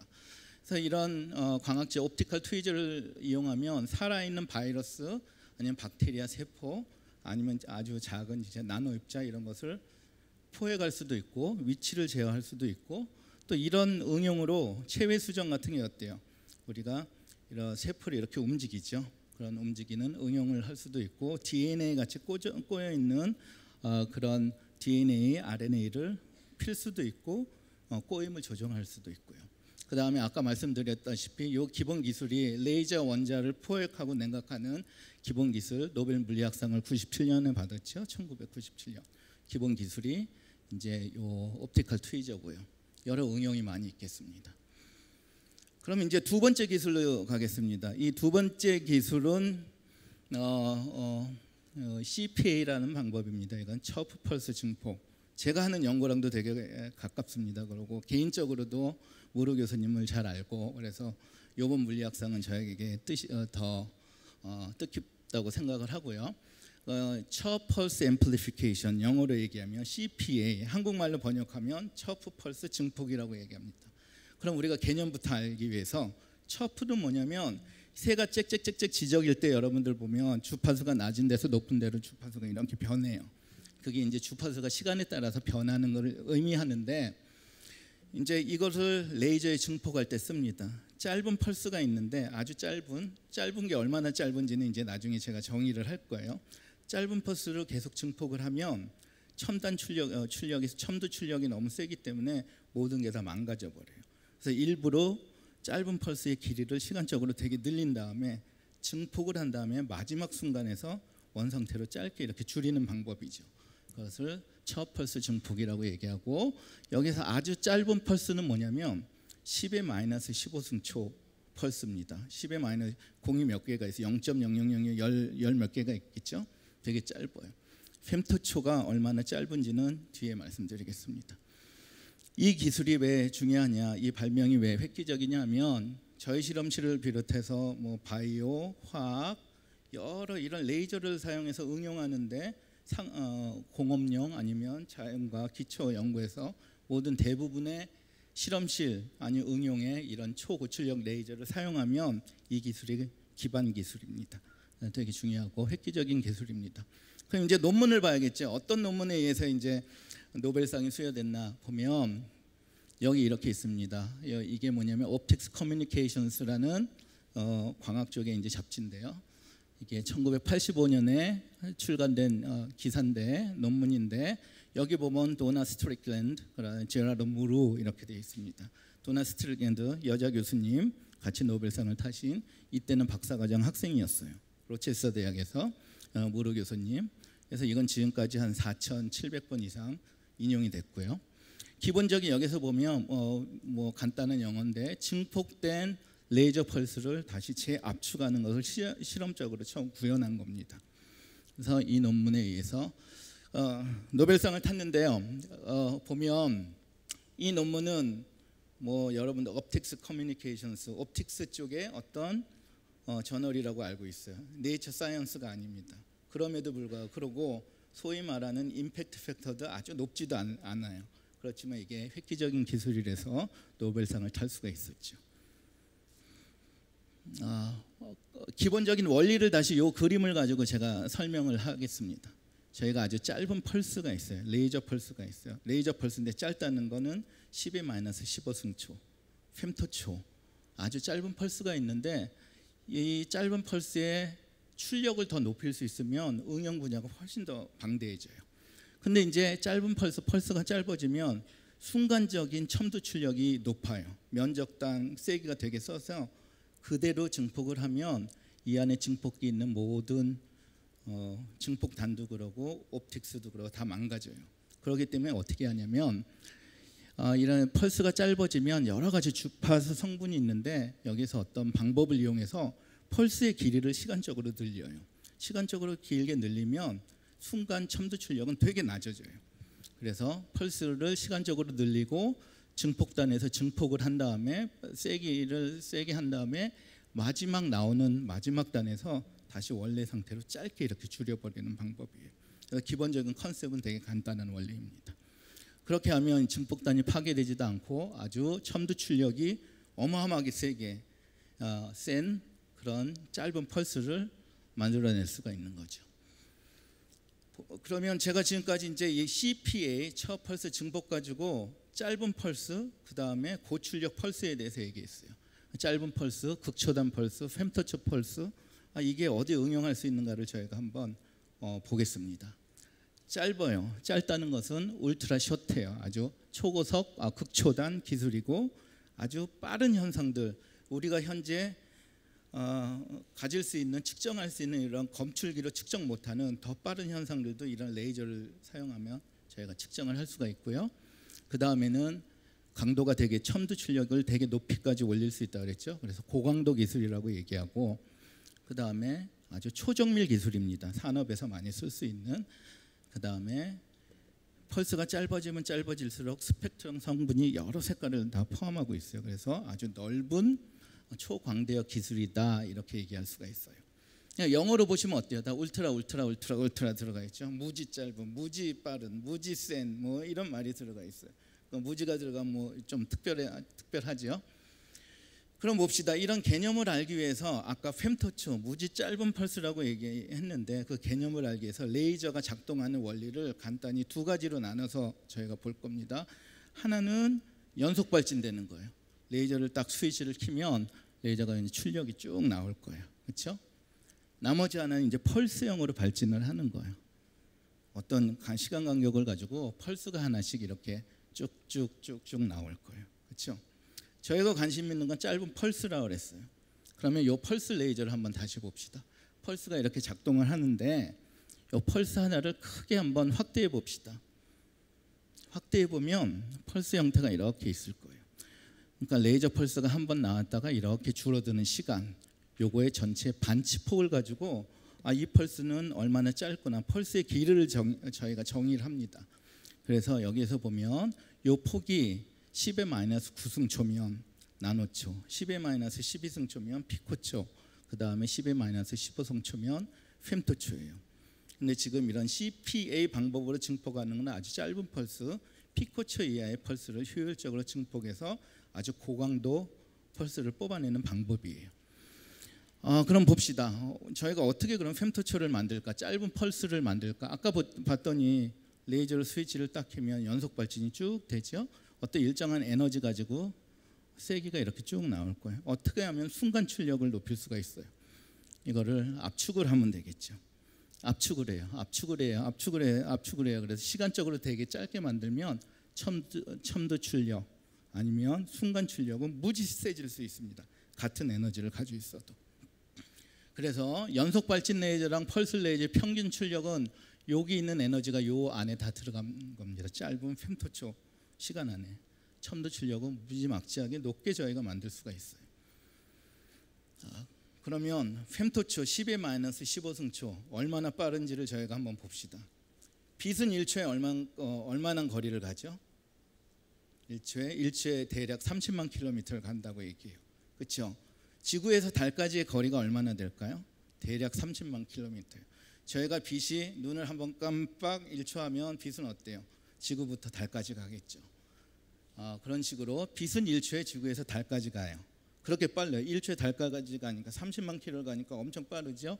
근데 이 빛이 사람의 머리카락의 두께는 대충 30 마이크로미터라고 얘기해요. 그럼 이 빛이 이렇게 빠른 빛이 100 fem토초 안에는 30 마이크로미터밖에 못 가요. 그러니까 되게 짧은 시간인 거를 여러분들 감을 잡을 수 있겠죠. 이렇게 빨리 진행하는 빛이 100 fem토초 안에는 30 마이크로미터밖에 가질 않아요. 그럼 봅시다. 아까 얘기한 초고속, fem토초, 극초단 뭐 이렇게 얘기한 거, 울트라 울트라 뭐 얘기했죠. 보면 저희가 시간 스케일을 가지고 각각 시간에서 일어나는 현상들, 여러분들이 다 알고 있는 현상들을 한번 봅시다. 여러분들 어렸을 때거 스톱워치 가지고 빨리 누르고 뭐 이런 장난을 요즘에는 안 하겠군요. 네, 저 때는 했는데. 그래서 이렇게 보면 한 0.1초 만에 누르고 뭐 이런 걸 많이 해요. 이게 그래서 시간이 스케일이 1초, 0.1초 뭐 이래요. 그리고 사진을 찍으면 카메라 셔터가 한번 터지는 그 시간이 한 millisecond. 요즘에 초고속 카메라는 뭐 microsecond. 그보다 이제 더 빠를 수도 있죠.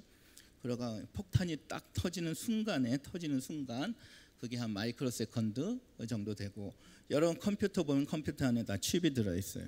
요즘 칩은 뭐 nanosecond 되게 빨리 반응을 하죠.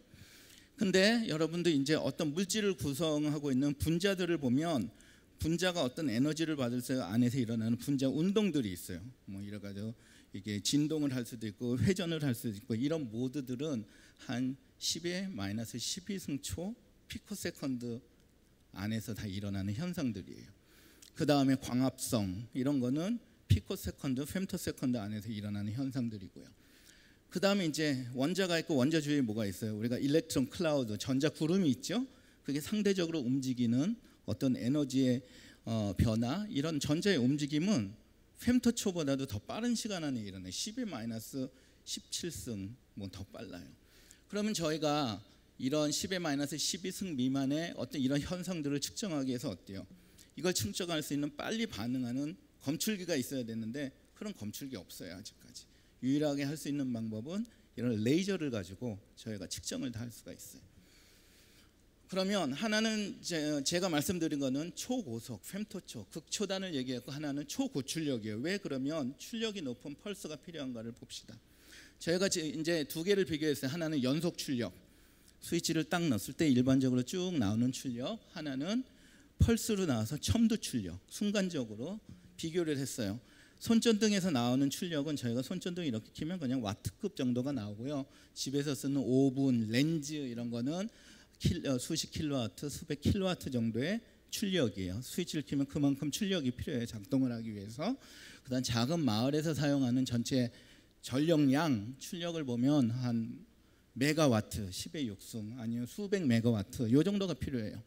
그다음에 원자력 발전소에서 사용하는 거는 기가와트, 10의 9승 그거 이상의 출력이 필요하죠. 전 세계에서 사용하는 어, 전력량은 대충 수백 어, 테라와트 뭐 이 정도가 되면 테라와트는 10의 12승 와트예요. 근데 이런 레이저를 사용하면 순간 어, 연속적으로 이런 센 출력을 낼 수 없지만 짧은 아까 얘기하는 펨토초 짧은 시간 안에 첨두 출력은 무지막지하게 높일 수가 있어요. 그래서 보통 카메, 카메라를 찍을 때 플래시가 아까 microsecond 안에 짧은 시간 안에 터진다 그랬죠. 그때 순간 출력 첨두 세기는 한 킬로와트 이상을 낼 수가 있어요. 그 다음에 폭탄은 한 메가와트. 여러분 천둥 번개가 치면 천둥 번개 칠 때 그때 순간 출력은 뭐냐면 한 테라와트급이 돼요.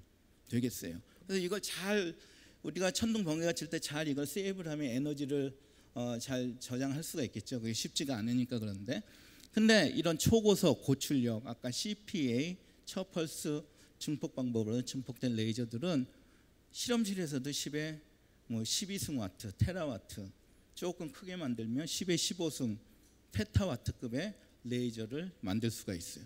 이거는 어, 태양에서 오는 세기보다도 더 센 연속은 아니지만 순간적으로 이런 아주 고 초고출력을 뽑아낼 수가 있다는 거죠. 그럼 봅시다. 여기 약간 이제 제가 가급적이면 영어 자료를 안 가져오려고 했는데 요거는 이제 영어 자료인데요. 이게 이제 제라드 무루 교수님이 총설 논문을 쓴 거에서 가져온 표인데요. 이거는 이제 광학하는 레이저 하는 사람들한테 중요한 데이터입니다. 이게 뭐 레이저는 1960년도에 처음 개발이 됐어요. 루비 레이저가 개발이 됐는데 개발이 됐을 때는 그냥 연속 발진이에요. 스위치를 딱 키면 아까 출력이 쫙 일정하게 나오는 거예요.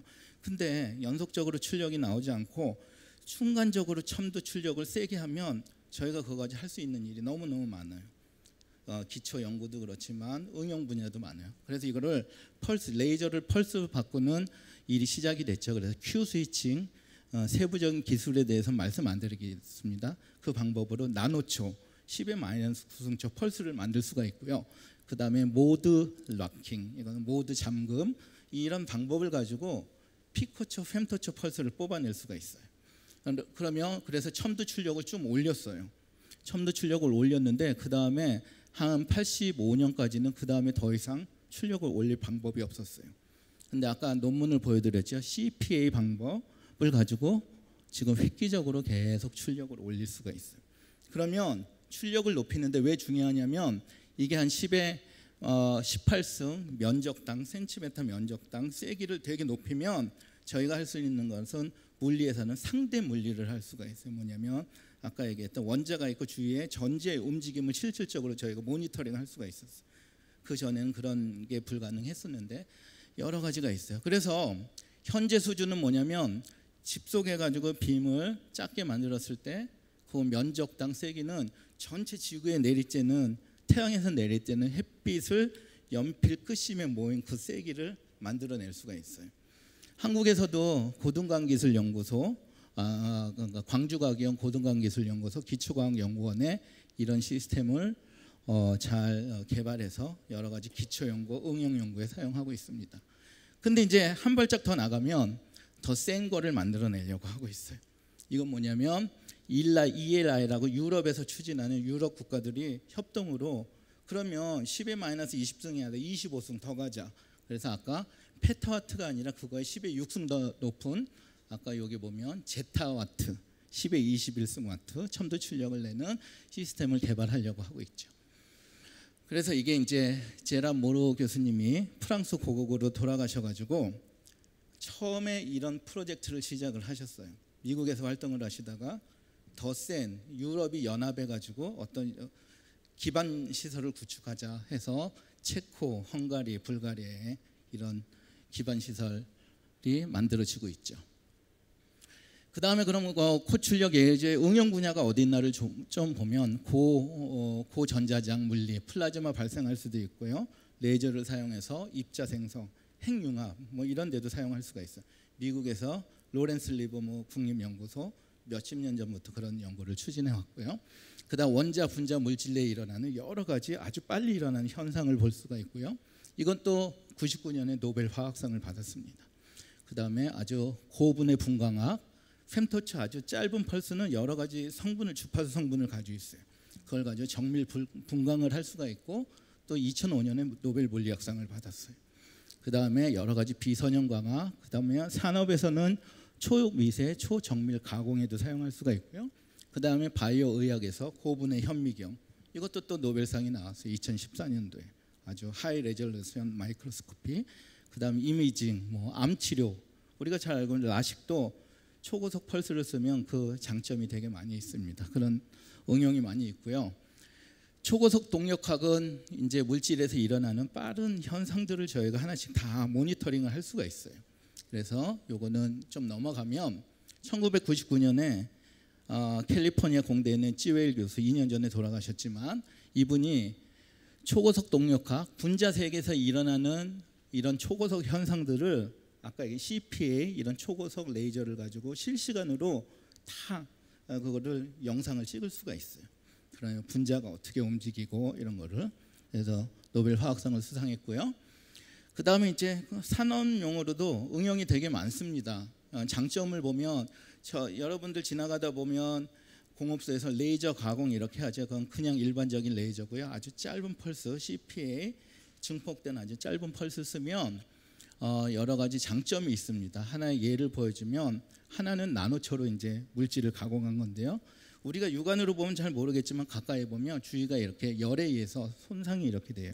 근데 fem토초 아주 짧은 펄스라면 깨끗이 이렇게 가공이 되고요. 그 다음에 이렇게 센 빛은 물질 안에서 자가 집속되는 현상이 있어서 어떤 물질 내부에 요거는 이제 뭐 네이처에 나온 논문인데요. 난 나노 사이즈, 나노미터 10의 마이너스 9승 미터 사이즈의 뭐 나노 황소를 이렇게 내부에다도 새길 수도 있고 여러 가지 응용이 있습니다. 그다음에 이제 수술용으로 초고속 레이저 라식은 여러분들 많이 들었는데 왜 그런 펨토초 어, 레이저를 라식에 사용하는가 하면 여러분들 펨토초 레이저를 가지고 펨토 라식이라고 얘기하는데 그러면 여러분들 각막을 이렇게 레이저로 scalpel 칼로 깎지 않고 레이저로 깎고 뒤집고 안면을 스무스하게 이렇게 다 다듬는 거를 레이저를 가지고 다 하는데 펨토초 레이저 펨토초는 10의 마이너스 15승이에요. 저희가 그래서 아 뜨거 뜨거 하기 전에 반응하기 전에는 벌써 사라져 버려요. 그래서 열을 열에 의한 어, damage가 거의 없다고 볼 수 있죠. 그래서 마지막으로 이제 어, 마지막 장인데 저희가 그럼 초고출력으로 레이저를 만들 수가 있어요. 그걸로 뭐를 할 수 있냐? 아까 얘기했던 양성자 가속 플라즈마 생성, 엑스레이, 나노 imaging, 핵융합에 사용할 수가 있어요. 아, 페타와트 레이저 10의 12승 와트 첨두 출력이 그런 거 미국 로렌스 리버모어 국립연구소에서 개발을 하고 있고 유럽의 ELI 아까 얘기했던 중국, 일본 그다음 국내에도 있어요. 아까 말씀 광주과기원의 IBS 그다음 고등광기술연구소 극초단 광양자빔 사- 시설이 있어서 여러 가지 연구를 수행하고 있습니다. 그래서 제가 뭐 짧은 시간에 어, 여러 가지 응용까지 이렇게 어, 제가 말씀을 드렸습니다. 그래서 감사합니다.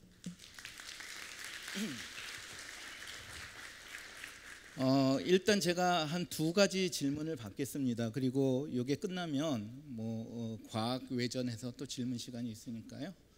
두 개의 질문을 받도록 하겠습니다. 우리 조기 안경 낀 여학생. 네, 어, 강연 정말 잘 들었습니다. 제가 질문하고 싶은 분야는 이제 옵티컬 트위저에 있어서인데 그 스티븐 추가 이미 1997년에 원자기체를 냉각 및 가두는 그런 어, 공로로 노벨 물리학상을 수상했다고 하셨는데 예. 이번에 옵티컬 트위저도 사실 그렇게 나노 입자들을 레이저로서 어, 가두고 거기에서 어떤 효과를 보는 그런 연구라고 할 수 있잖아요. 근데 이제 이 옵티컬 트위저가 1997년에 받았던 상에 비해서 어떤 노블티를 가지고 있는지 여쭤보고 싶습니다. 예, 처- 어, 좋은 질문이고요.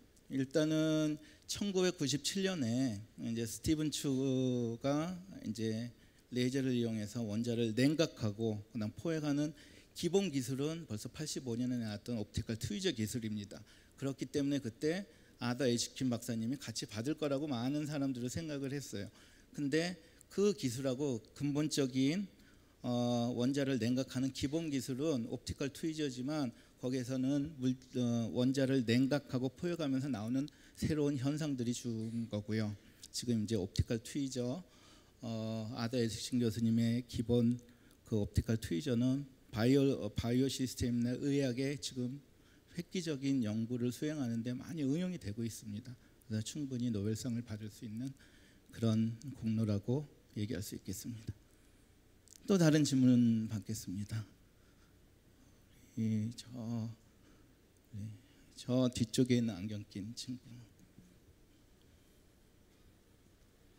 이제 집 집게라고 하면은 저희가 일상생에서 뭐 고기 구울 때나 볼 수 있는 그런 뭐 집게가 있잖아요. 네.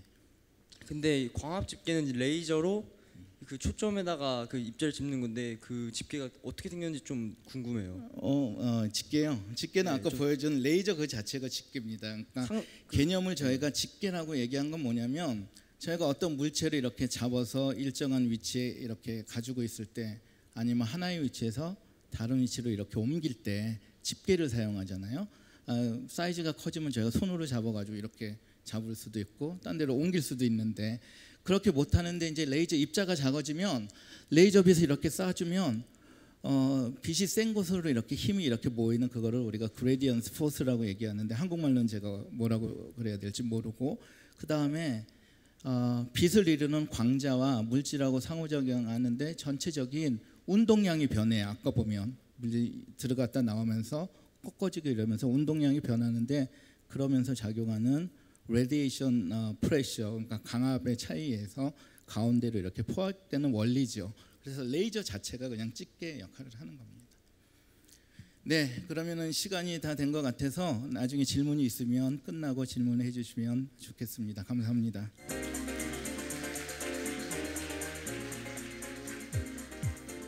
네. 그 재미있게 레이저 과학에 대한 강연을 들려주신 이상민 교수님께 다시 한번 큰 박수 부탁드리겠습니다. 네, 제가 듣다 보니까 지금 세 개의 과학 노벨상 중 두 개에 대한 이야기를 들었는데 이번에는 계속 뭔가를 우리 과학자들 마음대로 하고 싶은 그런 연구들에 대한 이야기네요. 처음에는 우리 몸의 면역계를 조절해서 병을 낫게 하고 싶었고요. 지금은 레이저를 가지고 작은 것들을 옮겨 다니고 싶죠. 자, 인간의 욕심은 끝이 없죠. 이제는 아예 분자에 생긴 모양을 바꾸고 싶으면 어떨까요? 이게 가능한 얘기일까요? 여기에 대해서 답을 주실 노벨 화학상에 대한 해설 강연을 해주실 서울대 화학부 김석희 교수님을 모시겠습니다.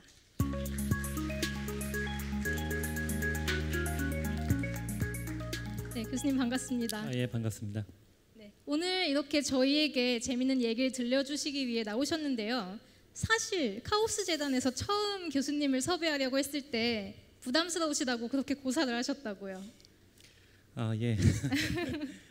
네, 그런데 카오스 재단에서 다시 찾아가서 아 그러면 설명만이라도 해주세요 했을 때 너무 설명을 잘 해주셔서 이렇게 몇 번이고 부탁을 드려서 모셨다고 합니다. 혹시 어떤 계기가 있으셔서 오늘 나오실 결심을 하셨나요? 아, 예. 지- 제가 먼저 이제 말씀해 드렸던 거는요. 그 제가 이제 연구를 하는 것도 전문적이지만 이 과학을 대중들에게 설명하는 것 자체도 상당히 어렵고 어, 전문적인 분야라고 생각했는데 그게 혹시 제가 제일 잘할 수 있는 거는 아니지 않을까라는 생각 때문에 혹시 더 좋은 참 잘하시는 분을 찾으시는 게 낫지 않을까 이렇게 말씀을 드렸었던 건- 건데요. 네, 교수님 어. 너무 겸손하셨던 것 같습니다. 아, 그런데 이제 그 어, 이런 생각은 가지고 있었습니다. 그 뭐냐면 그 과학을 대중화하는 이런 일들이 상당히 중요하고 누군가는 좀 잘 해줬으면 좋겠는데 저도 늘 그렇게 예. 생각하고 있어요. 그것들을 카오스 재단에서 너무 잘하고 있는 거에 대한 좀 감사함이나 고마움이 좀 있었습니다. 예, 그런 것 때문에 좀 생각을 바꾸게 된 것 같아요. 그렇군요. 저도 오늘 저 대신에 교수님께서 이렇게 좋은 설명을 해주실 거라서 너무 감사합니다. 어, 그러면 시작하시기 전에 여기 있는 많은 분들이 궁금해하고는 계시지만 차마 질문을 못 하고 있을 법한 한 질문을 제가 대표로 드려볼게요. 제목이 진화 유도잖아요, 교수님. 예. 근데 저는 분명히 진화를 생물학 시간에 배운 것 같습니다. 이게 왜 화학성인가요? 어, 이게 화학상을 받은 게 받게 된 거는 아마 제 설명을 좀 들으시면 예, 금방 이해하실 수 있지 않을까 싶습니다. 그렇군요. 네, 그러면 바로 청해서 들어보겠습니다. 김석희 교수님께 다시 한번 박수로 맞아주세요. 예, 소개를 받은 김석희입니다. 어, 제 음, 아 예. 이 반응이 좀 느려서 잠시만 아 예. 어 그 이번 노벨 화학상의 성과를 어, 한 단어로 요약을 하자면 어, 보통 영어로는 이제 directed evolution이라고 하고요. 어, 다른 말로 이제 유도진화라는 말을 어, 쓸 수가 있습니다. 근데 이- 여러분들이 유도진화라는 말을 처음 들었을 때 어, 그 생각하실 수 있는 거는 진화는 뭔지를 좀 알겠는데 유도진화라는 게 도대체 무엇일까? 라는 질문을 하실 수도 있겠고요.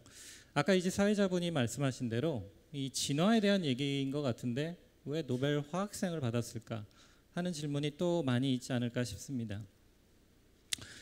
어, 그 이 노벨상의 성과를 조금 더 자세하게 제가 간단하게 또 설명을 드리면 어, 결국에는 이 생명체가 겪었을 법한 이 진화의 과정을 이 단백질이라고 하는 생체 분자에 정욕을 시키면 아마도 우리가 유용한 단백질을 쉽게 차단할 수 있을 것이다 라는 것을 보여주고 증명해 주신 그런 그 성과라고 얘기를 할 수가 있습니다.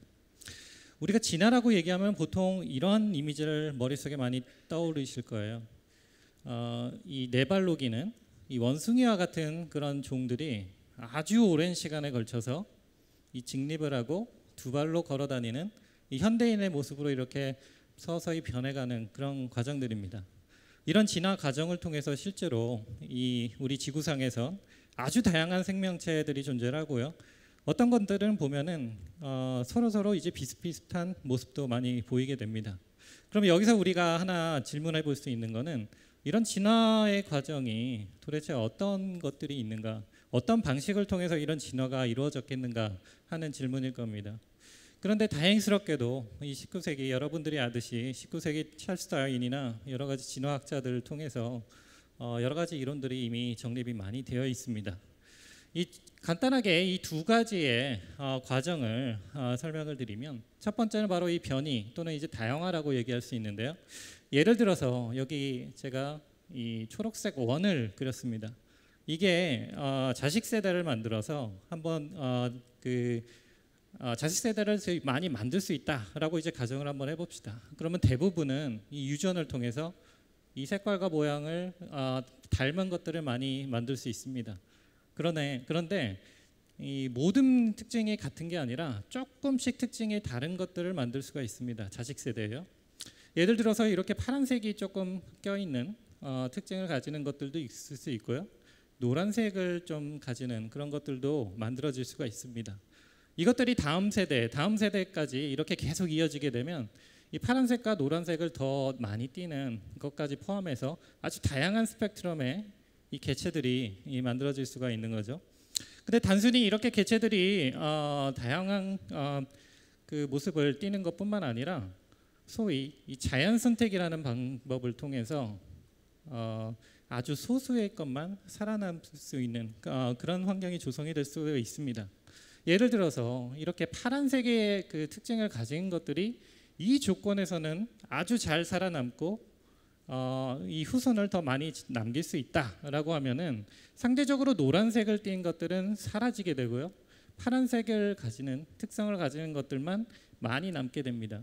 이것들이 계속 계속 어, 자식 세대를 만들어 가게 되면 오랜 시간에 걸쳐서 이 결국에는 이 초록색이 파란색의 원으로 변하는 그런 과정을 어, 보실 수가 있을 겁니다. 그러면은 이 두 번째 방법 에, 과정인 이 자연 선택이라는 게 결국에는 이제 환경에 어떻게 적응을 하느냐 이런 문제이기 때문에 어느 정도 이해는 할 수가 있는데 다윈 시대에서도 이제 많이 알려지지 않았던 거는 바로 이런 변이나 다양한 다양화가 도대체 어떤 방식으로 이루어질 것이냐 아, 그런 질문이라고 할 수가 있는데요. 이 질문에 대한 대답은 바로 이 어, 이번 노벨상 업적이 왜 화학상을 받게 되었는가를 대답할 수 있는 중요한 정보를 어, 제공해 줄 수가 있습니다.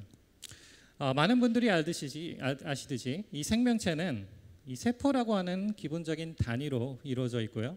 그리고 이 세포 내에서 필요한 여러 가지 분자 수준의 작업들은 단백질이라고 하는 생체 분자에 의해서 대부분 이루어지게 됩니다.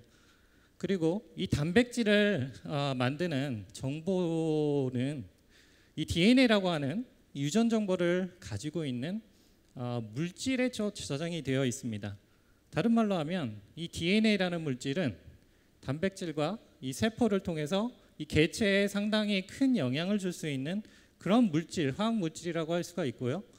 어, 좀 더 다르게 생각을 하면 이 DNA에 변화를 주면 바로 이 개체도 어, 변화를 줄 수 있는 어, 그런 상황이 나올 수가 있습니다. 어, 그래서 결과적으로 보면 이 진화라는 다양성과 이 선택이라는 과정을 통해서 이 개체가 어, 다른 방식으로 변화하는 모습은 결과적으로 보면 이 DNA라고 하는 유전 정보를 담은 물질의 변화에 따라서 될 수가 있다라고 생각할 수가 있고요. 이거는 순수하게 진화의 과정도 결국엔 화학적으로 설명이 될 수 있다라는 말이 됩니다. 그러면 여기서 몇몇 학자들이 가진 관심은 어, 이런 DNA 물질을 변화시켜서 우리가 인공적으로 실험실 안에서 이런 진화를 재현해낼 수가 있지 않을까 이러한 생각들을 가지게 됐고요. 특히 이번 노벨상을 받으신 분들은 이 DNA를 변화시켜서 개체까지도 원하는 방식으로 변화하는 것은 너무 복잡한 문제일 수 있지만 적어도 유용한 단백질을 만들어내고 찾아내는 데는 아주 효과적일 수 있지 않을까 이런 생각을 가지고서 어, 섭적을 어, 쌓으신 분들입니다. 좀 더 구체적으로 보면 이 세 분의 교수님들은 들 중에 이 프랜시스 아놀드 교수님 같은 경우는 어, 단백질 중에 이 효소에 대해서 이러한 유도 진화의 개념을 적용을 시키면 유용한 단백질을 아주 손쉽게 빠르게 찾아낼 수 있다는 것을 처음 보여, 보여주신 분이고요.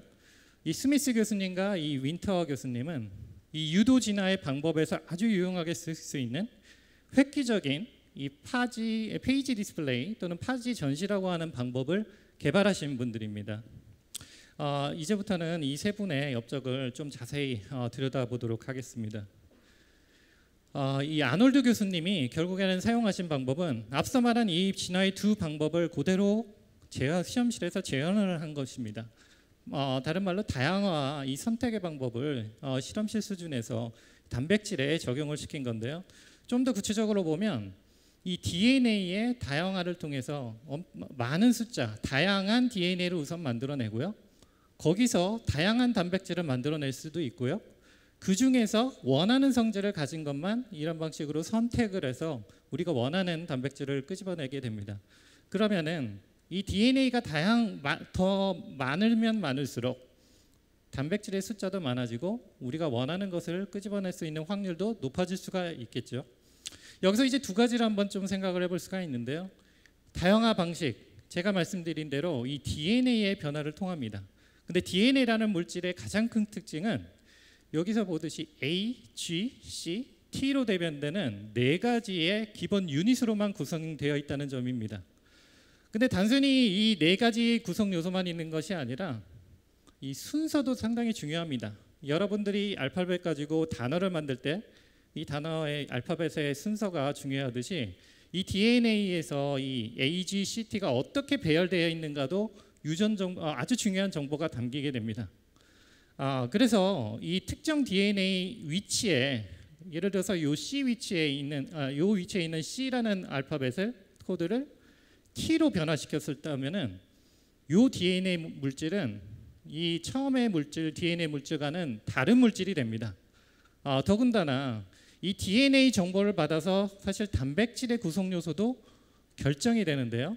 그래서 여기서 C가 T로 변하면은 이 단백질을 이루는 9번 구성 요소도 S에서 F로 변하게 돼서 단백질의 구조도 바뀌고 기능도 바뀔 수 있는 것입니다.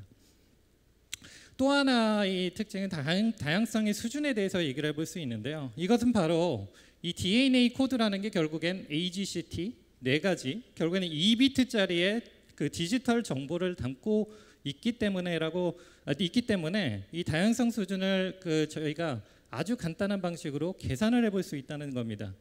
아 무엇냐면 여기서 이 DNA가 여기서는 한 30개 정도의 코드를 가지게 됩니다.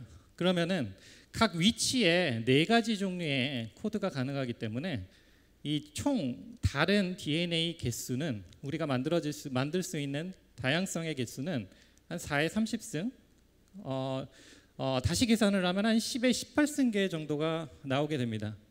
근데 이제 실험실 수준에서 저희가 이 DNA를 다양화해서 만들 수 있는 어, 이 열심히 노력해서 만들 수 있는 DNA 숫자는 대략적으로 한 10의 10승에서 한 12, 12승계 정도가 됩니다. 그럼 12승계라고 치면은 한 1조 개가 됩니다. 1조 개의 DNA를 만들어도 총 만들 수 있는 숫자의 100만 개 중에 하나 정도만 만들 수 있다는 얘기가 됩니다. 그런데 더 심각한 거는 단백질 일반적인 단백질이라고 불리는 물질에 박테리아에 있는 단백질의 이 평균적인 크기는 한 300개에서 400개의 기본 유닛이 있습니다. 근데 그런 것을 표현하기 위해선 DNA는 한 1000개 정도가 필요한데 그래서 계산을 해 보면 한 10에 600승이라는 숫자가 나옵니다. 가히 천문학적인 숫자라고 할 수 있는데요. 현실적으로 보면 이거는 거의 무한대에 가까운 숫자라고 얘기를 할 수가 있습니다.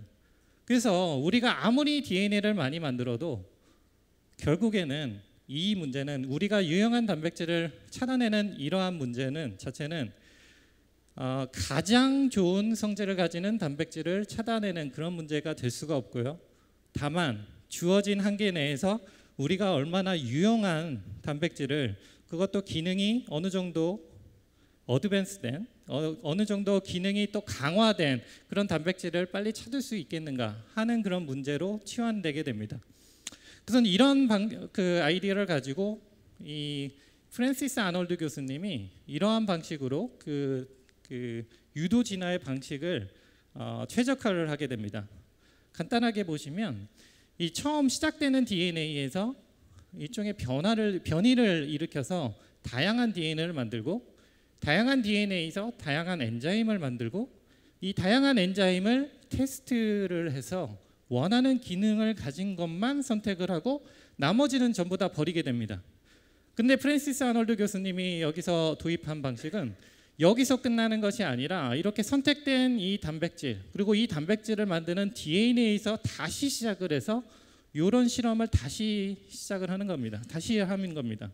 그리고 이런 작업을 한 서너 번 반복을 하면 처음에 얻어졌던 그런 단백질 효소보다 훨씬 더 기능이 향상된 효소를 얻을 수가 있었고요. 이 초창기에 아놀드 교수님이 했던 실험을 보면 한 4천 개의 변이체 효소를 만들어서 테스트를 하는 방 서너, 서너 번 반복하는 방식으로 한 200배 이상의 기능의 향상된 효소를 얻을 수가 있었다고 합니다. 4천 개라 그러면은 어, 즉 저희가 실험실에서 하나하나 이렇게 테스트하는 거를 생각을 했을 때는 상당히 많은 숫자라고 할 수가 있는데 아까 말씀드린 대로 이러한 그 크기의 효소가 얼마나 다양화될 수 있는가에 대한 숫자를 비교를 해보면 엄청나게 작은 숫자라고 할 수 있습니다. 어, 그런데 이런 어, 프란시스 아놀드 교수님이 어, 최적화한 방법이 한 2, 30년 정도 지난 지금 시점에서 보면 이 효소의 기능을 향상시켜야 되는 그 모든 그런 작업들에 공통적으로 쓰이는 기술이 됩니다. 된다는 것을 알 수가 있습니다.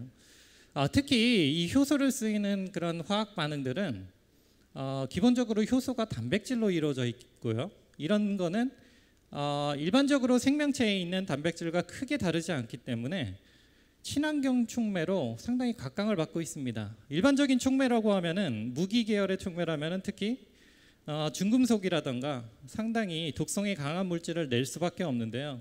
그런 면에서 효소는 상당히 매력적인 대상이 될 수가 있겠, 어, 있습니다.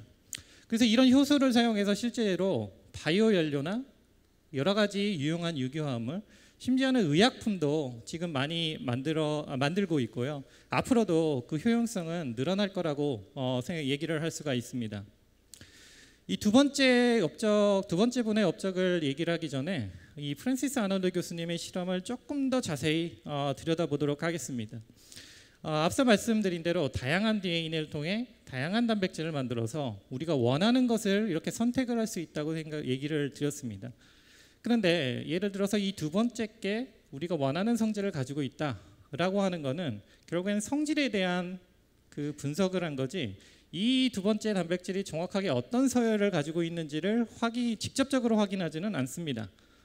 이거를 직접적으로 확인하기 위해서는 보통 이 단백질을 분석을 하는 게 아니라 보통 이 단백질을 만드는 DNA의 서열을 분석하는 방식이 훨씬 빠르고 수월합니다. 근데 여기서 그래서 보통은 이 단백질에서는 기능을 테스트를 할 뿐이지 이 단백질이 어떤 건지를 알아내기 위해서는 DNA를 분석하는 방법을 씁니다. 근데 여기서의 하나의 가정은 어, 이 단백질을 만드는 DNA가 바로 이 단백질과 이렇게 연결이 어느 어느 수, 어느 수준에서는 연결이 돼 있어야 된다는 사실입니다. 왜냐하면은 이 DNA가 만약에 다른 다른 어, 다양한 DNA와 섞여 있다면은 이 단백질을 만드는 DNA 서열이 어떤 것인지 정확하게 알기가 힘들겠죠. 그래서 프랜시스 아놀드 교수님이 사용한 방식은 바로 박테리아 세포 자체를 하나의 구분자로 사용하는 겁니다. 어, 이 방법에서는 하나의 박테리아 세포에 한 가지의 DNA만 들어가고 이 DNA에 맞는 단백질만 생성이 되고요. 이 옆에 있는 세포는 다른 DNA와 그러면 다른 단백질을 만들 수가 있게 되는 거죠. 이런 구분자로 사용된 이 세포를 어, 프랜시스 아놀드 교수님 실험 같은 경우는 이 손바닥만한 이 원형의 용기에 넓게 퍼뜨립니다. 넓게 퍼뜨리면은 공간적으로 구별을 할 수가 있게 돼요. 근데 이 용기에는 특히 이 박테리아가 먹고 자랄 수 있는 배지가 들어가 있습니다. 그러면은 각각의 위치에 있는 박테리아 하나하나는 어, 계속 자라면서 하나의 세포군을 이루는데 이 세포군은 모두 한 가지의 DNA와 거기에 따른 단백질만을 가지고 있습니다. 그러면은 그 다음 스텝은 이거를 복제를 해서 두 개의 다른 어, 이 용기에다가 어, 이걸 그대로 재현을 합니다. 그러면은 여기 이 특정 세포군에 대한 위치 정보도 이렇게 넘어가게 됩니다. 똑같이. 그리고 이 이 둘 중에 하나를 사용해서 여기에 들어있는 요소가 어떠한 성질을 가지고 있는지를 테스트를 합니다. 근데 여기서의 문제는 이 단백질 자체는 세포 안에 포함이 돼 있고 노출이 되어 있지를 않습니다. 근데 보통 이런 특징을 그 테스트를 할 때는 이 단백질이 바깥으로 노출이 되는 조건이 많습니다. 프란시스 아놀드 교수님이 처음 실험했던 것도 어, 그런 경우인데요. 그러기 위해서는 이 세포를 깨야 되고 그 효소를 밖으로 끄집어내서 거기서 이렇게 테스트를 해야 됩니다. 어, 그렇게 해서 이렇게 테스트를 해서 예를 들어서 여기 빨간색으로 표시한 점에서 우리가 원하는 성질을 봤다. 그러면은 요 안에 있는 DNA를 분석을 하면 되는데 문제는 이렇게 하는 테스트 과정에서 DNA에 대한 정보는 많이 없어질 가능성이 높습니다. 그러면 할 수 있는 게 여기 복제된 이 여기서의 그 용기에서 요것과 똑같은 위치에 있는 세포군을 선택을 해서 여기 있는 DNA를 분석하는 방식입니다. 그래서 이런 방식을 통해서 이 손바닥만한 용기에서 한 번에 테스트를 할 수 있는 이 세포의 개수는 한 수백 개 정도가 됩니다.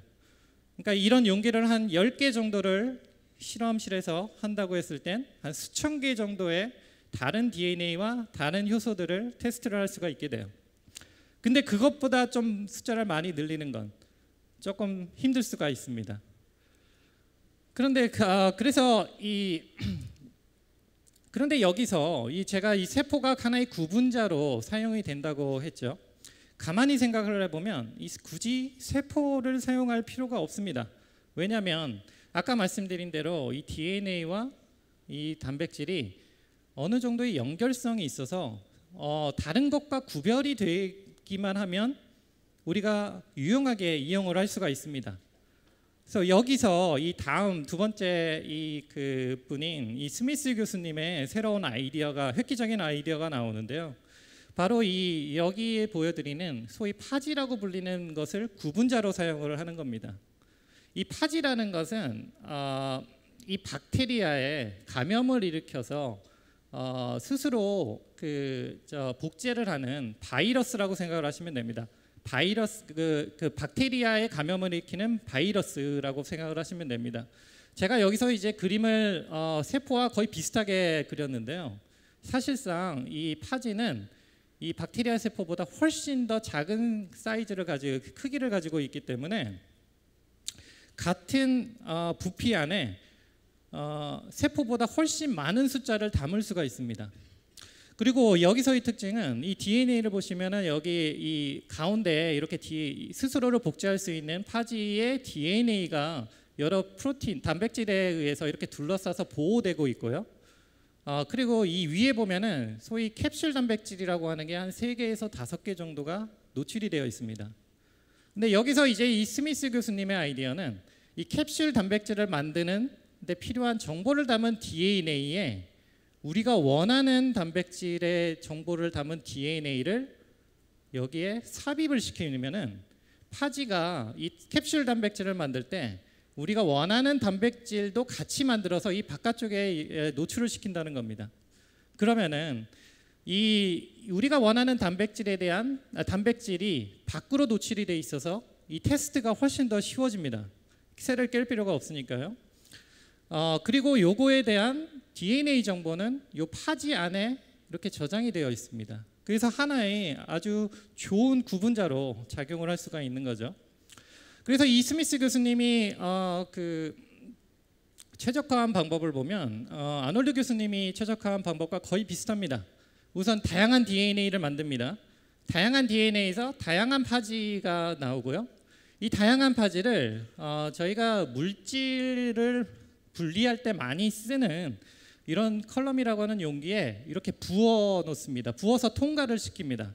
근데 통과를 시킬 때 여기서 보시면은 제가 이 파란색으로 표시한 어, 작은 알갱이들이 있는데요. 이 알갱이에 어, 우리가 원하는 분자를 이렇게 어, 표면에 붙일 수가 있습니다. 그리고 우리가 여기서 하고자 하는 작업은 요 파지 위에 이렇게 노출시킨 단백질 중에 우리가 원하는 이 하늘색의 분자에 정확하게 맞게 들어가서 결합을 잘할 수 있는 것을 발견을 하는 것입니다. 그러면 어떤 특정 파지 같은 경우는 그런 어, 단백질이 있어서 이렇게 강하게 결합을 하게 되면 이 알갱이에 이 파지가 그대로 남게 됩니다.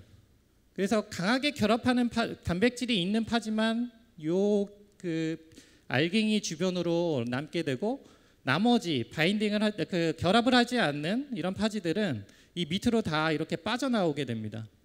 그러면은 여기 남은 것들만 다시 모아서 어, 보면은 어, 우리가 원하는 이 분자에 선택적으로 결합을 하는 단백질을 가진 파지만 이렇게 농축을 시킬 수가 있습니다. 그리고 물론 이 스미스 교수님도 이 파지를 다시 라이브를 그 다양하게 만들어서 다시 이런 과정을 여러 번 거치는 방식으로 어, 좀 더 강하고 선택적으로 바이, 그 결합을 하는 단백질을 가진 파지만 농축을 시킬 수가 있었고요.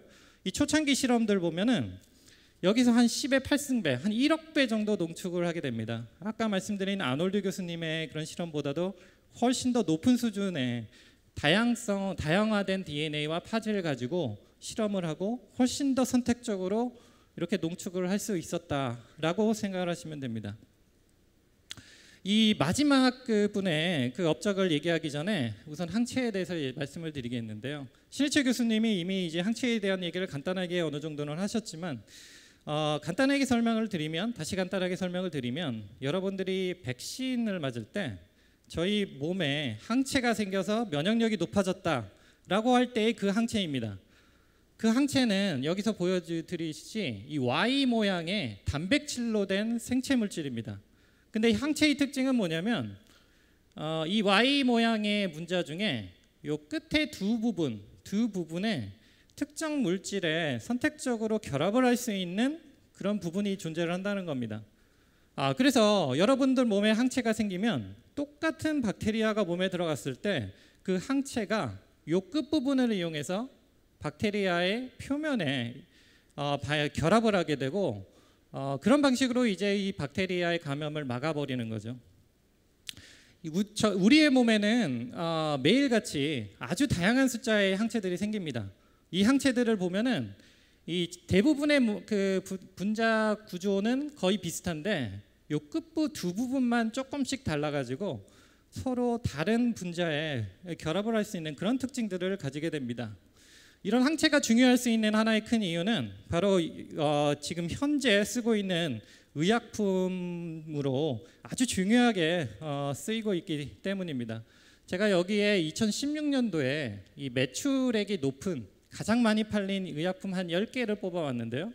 10개 중에 제가 이 핑크색 박스로 이렇게 표시한 한 5개 정도가 전부 다 항체로 된 의약품들입니다. 특히 1위를 한 휴미라 같은 경우는 1년에 16조가 더 되는 그런 매출을 기록을 하고 있습니다. 신의철 교수님이 말씀하신 면역 억제 어, 아, 그 면역 항암제도 아마도 몇 년 안에 이 10위 안에 몇 개가 들어오지 않을까 그런 예측을 하고 있습니다. 어, 그래서 이 마지막에 그 세 번째 교수님인 이 윈터 교수님은 어, 어떤 작업을 했냐면은 이러한 그 항체를 의약품으로 개발하는데 아주 유용하게 쓸 수 있는 방법을 개발을 했습니다. 예, 바로 어, 스미스 교수님이 바- 그 개발한 이 파지 전시의 방법을 항체에 적용을 하는 겁니다.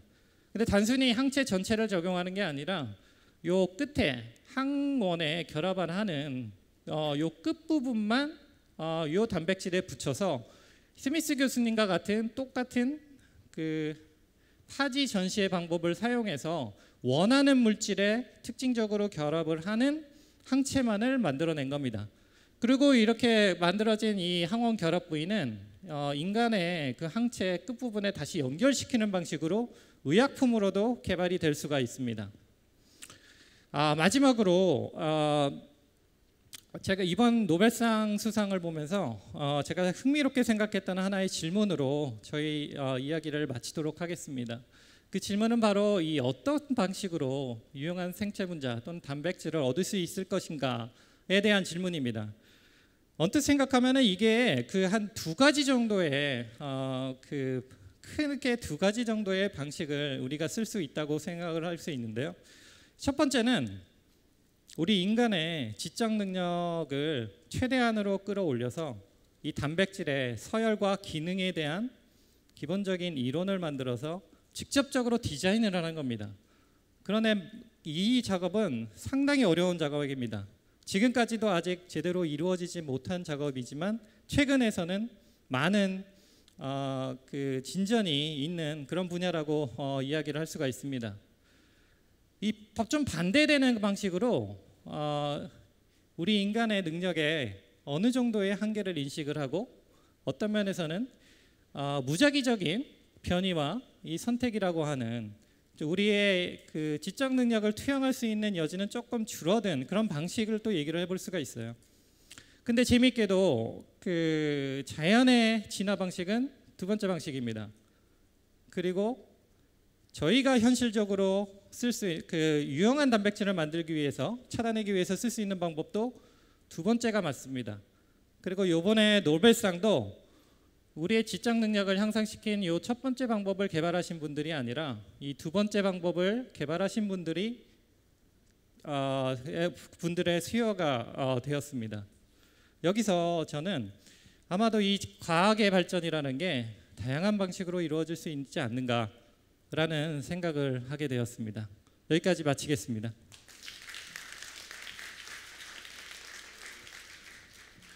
어, 시간이 한 6분 정도 남았는데요. 어, 질문을 좀 받아보겠습니다. 제가 잘 안 보이는데 아, 예, 중간에 있는 남학생. 예.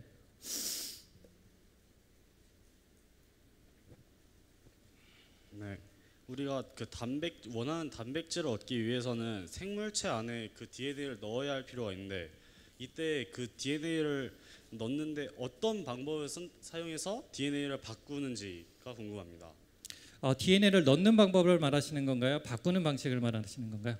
그러니까 어 아까 예. 그 말씀하신 대로 음 우리가 원하는 단백질 일단 먼저 찾아야 하는데 예. 그러려면 일단 우리가 DNA를 생물체 DNA를 조작해 가지고 아 예. 여러 그걸 마- 마- DNA를 바꾸는 방식은 여러 방식이 있을 수가 있습니다. 근데 DNA는 여러분들이 아셔야 되는 건 기본적으로 화학 물질입니다. 그래서 기본적으로 화학적인 합성을 하는 것이 하나의 방법이에요. 근데 화학적인 합성으로 만들어지지 못하는 DNA가 그 크기의 DNA 같은 경우는 어, 엔자임을 사용해서 그러니까 효소를 사용해서 DNA를 합성하는 효소를 사용해서 우리가 또 만들어낼 수가 있습니다. 그런데 그 보통 DNA를 만드는 효소들은 기존에 있는 DNA를 어, 하나의 형틀로 사용해서 그 서열을 그대로 복제를 하게 되는데 이 복제하는 와중에서 우리가 일부러 에러를 만들 수가 있습니다. 그러니까 정확하게 복제를 하는 게 아니라 어느 정도의 에러를 만드는 그런 조건을 알고 있습니다. 그런 방식으로 우리가 DNA의 서열 자체를 조금씩 변화 시킬 수가 있는 거죠. 그런 DNA를 사용하면 됩니다. 또 다른 질문 받겠습니다. 어, 여기 가운데 남학생. 예. 예.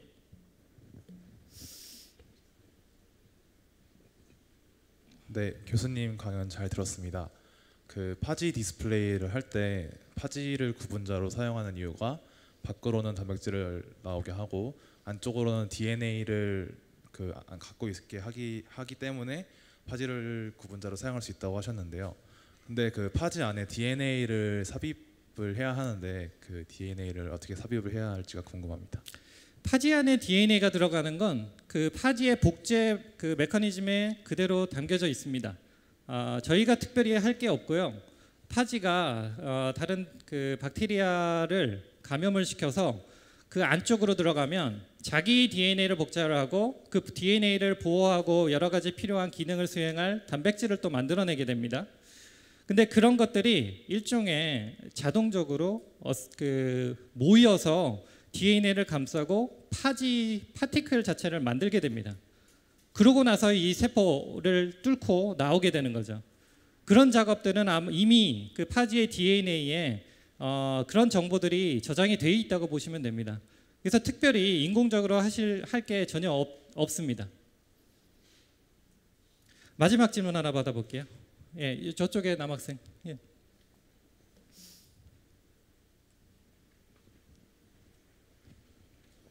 네, 강연 잘 들었습니다. 근데 이제 말씀하셨던 두 가지 기술에서 모두 박테리아의 이용이 필수적으로 생각이 되는데요.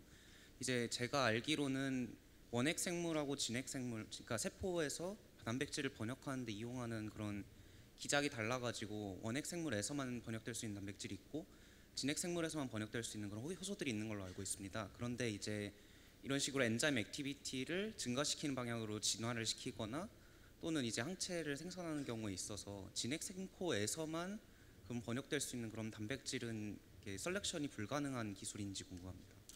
어, 좋은 질문 해드렸는, 아, 해주셨는데요. 그 보통 이제 이런 방법 자체가 박테리아에서 개발이 됐기 때문에 보통은 박테리아의 효소들을 많이 쓸 수가 있고요. 심지어는 박테리아 같은 박테리아 효소더라도 어, 이렇게 많이 쓰는 박테리아 종에서 제대로 이게 만들어질 수 있을 것이냐 사실 그런 거는 아닐 수도 있습니다. 어, 그리고 워- 그 아까 말씀하신 대로 전혀 이제 다른 어, 진핵세포에 있는 단백질 같은 경우도 박테리아에서 해보면 많이 안 만들어질 가능성이 높습니다. 근데 그럴 때는 어, 이 진핵세포의 하나의 모델인 이뭐 이스트 같은 것들을 사용해서 만들기도 합니다. 어, 그런 방법을 쓰면 되겠죠. 어, 여기까지 어, 답변을 어, 마치도록 하겠습니다. 어, 들어주셔서 감사합니다.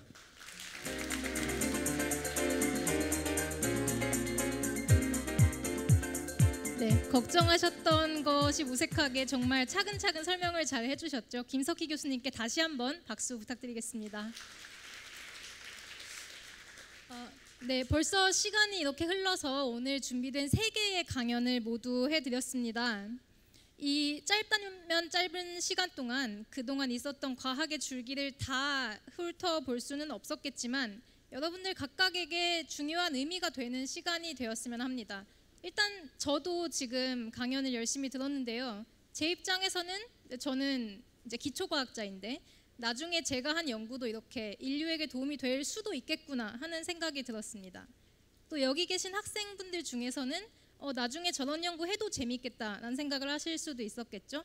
어떤 분들은 어, 과학자들 저런 거 하는구나. 아니면 몰랐는데 약을 쓴다, 항암제를 만든다는 게 저런 뜻이구나. 이 정도의 작은 것들을 알아가실 수도 있겠죠. 모두 굉장히 중요하고 좋은 경험이라고 생각합니다. 이렇게 직접 찾아와 주셔서 정말 감사드리고요. 저희도 앞으로 더 이제 인류를 행복하게 만들 수 있는 과학을 하려고 노력을 해보겠습니다. 그러면 마지막으로 저희 강연자 세 분을 다시 모셔보도록 하겠습니다. 교수님들 나와주세요.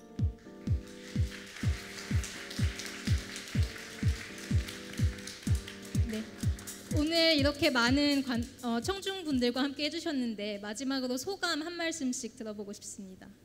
예, 제가 강의를 할 때도 굉장히 집중을 잘 해주시고 또 굉장히 막 좋은 질문들을 많이 해주셔가지고 너무 기뻤는데요. 특히 학생분들이 많이 오셨는데 이런 그 저희가 소개한 이런 또 연구들을 여러분들도 또 같이 할 수 있는 그런 과학자들이 되면 더 더욱 보람 있는 일이겠다는 생각을 강의를 하면서 했습니다. 네, 그 오늘 저도 이제 두 번째 강의를 했지만 저도 배운 게 되게 많은 것 같습니다. 그리고 놀라운 게 일반 청중들이 집중도가 너무 좋은 것 같습니다. 그래서 앞으로도 많이 이런 기초과학이나 이런 과학에 관심을 많이 가져주셨으면 좋겠습니다. 감사합니다. 어, 그 어, 저도 저는 이제 그 아까 말씀드렸지만 이 대중 강의 처음인데 어, 생각보다 질문의 수준이 상당히 높다는 것을 느꼈습니다. 그만큼 여러분들이 많이 쳐다보고 공부하고 그런 결과가 아닌가 싶은데요. 그만큼 뜨거운 어떤 관심 같은 것들이 느껴져서 어, 너무 좋았던 것 같습니다. 네, 저도 너무 재미있고 보람찬 시간이었는데요. 아쉽지만 저희는 여기서 인사를 드려야 할 것 같습니다. 앞으로도 카오스 재단과 고등과학원 그리고 저희 네 명의 과학 활동에 많은 관심과 격려 부탁드리겠습니다. 감사합니다.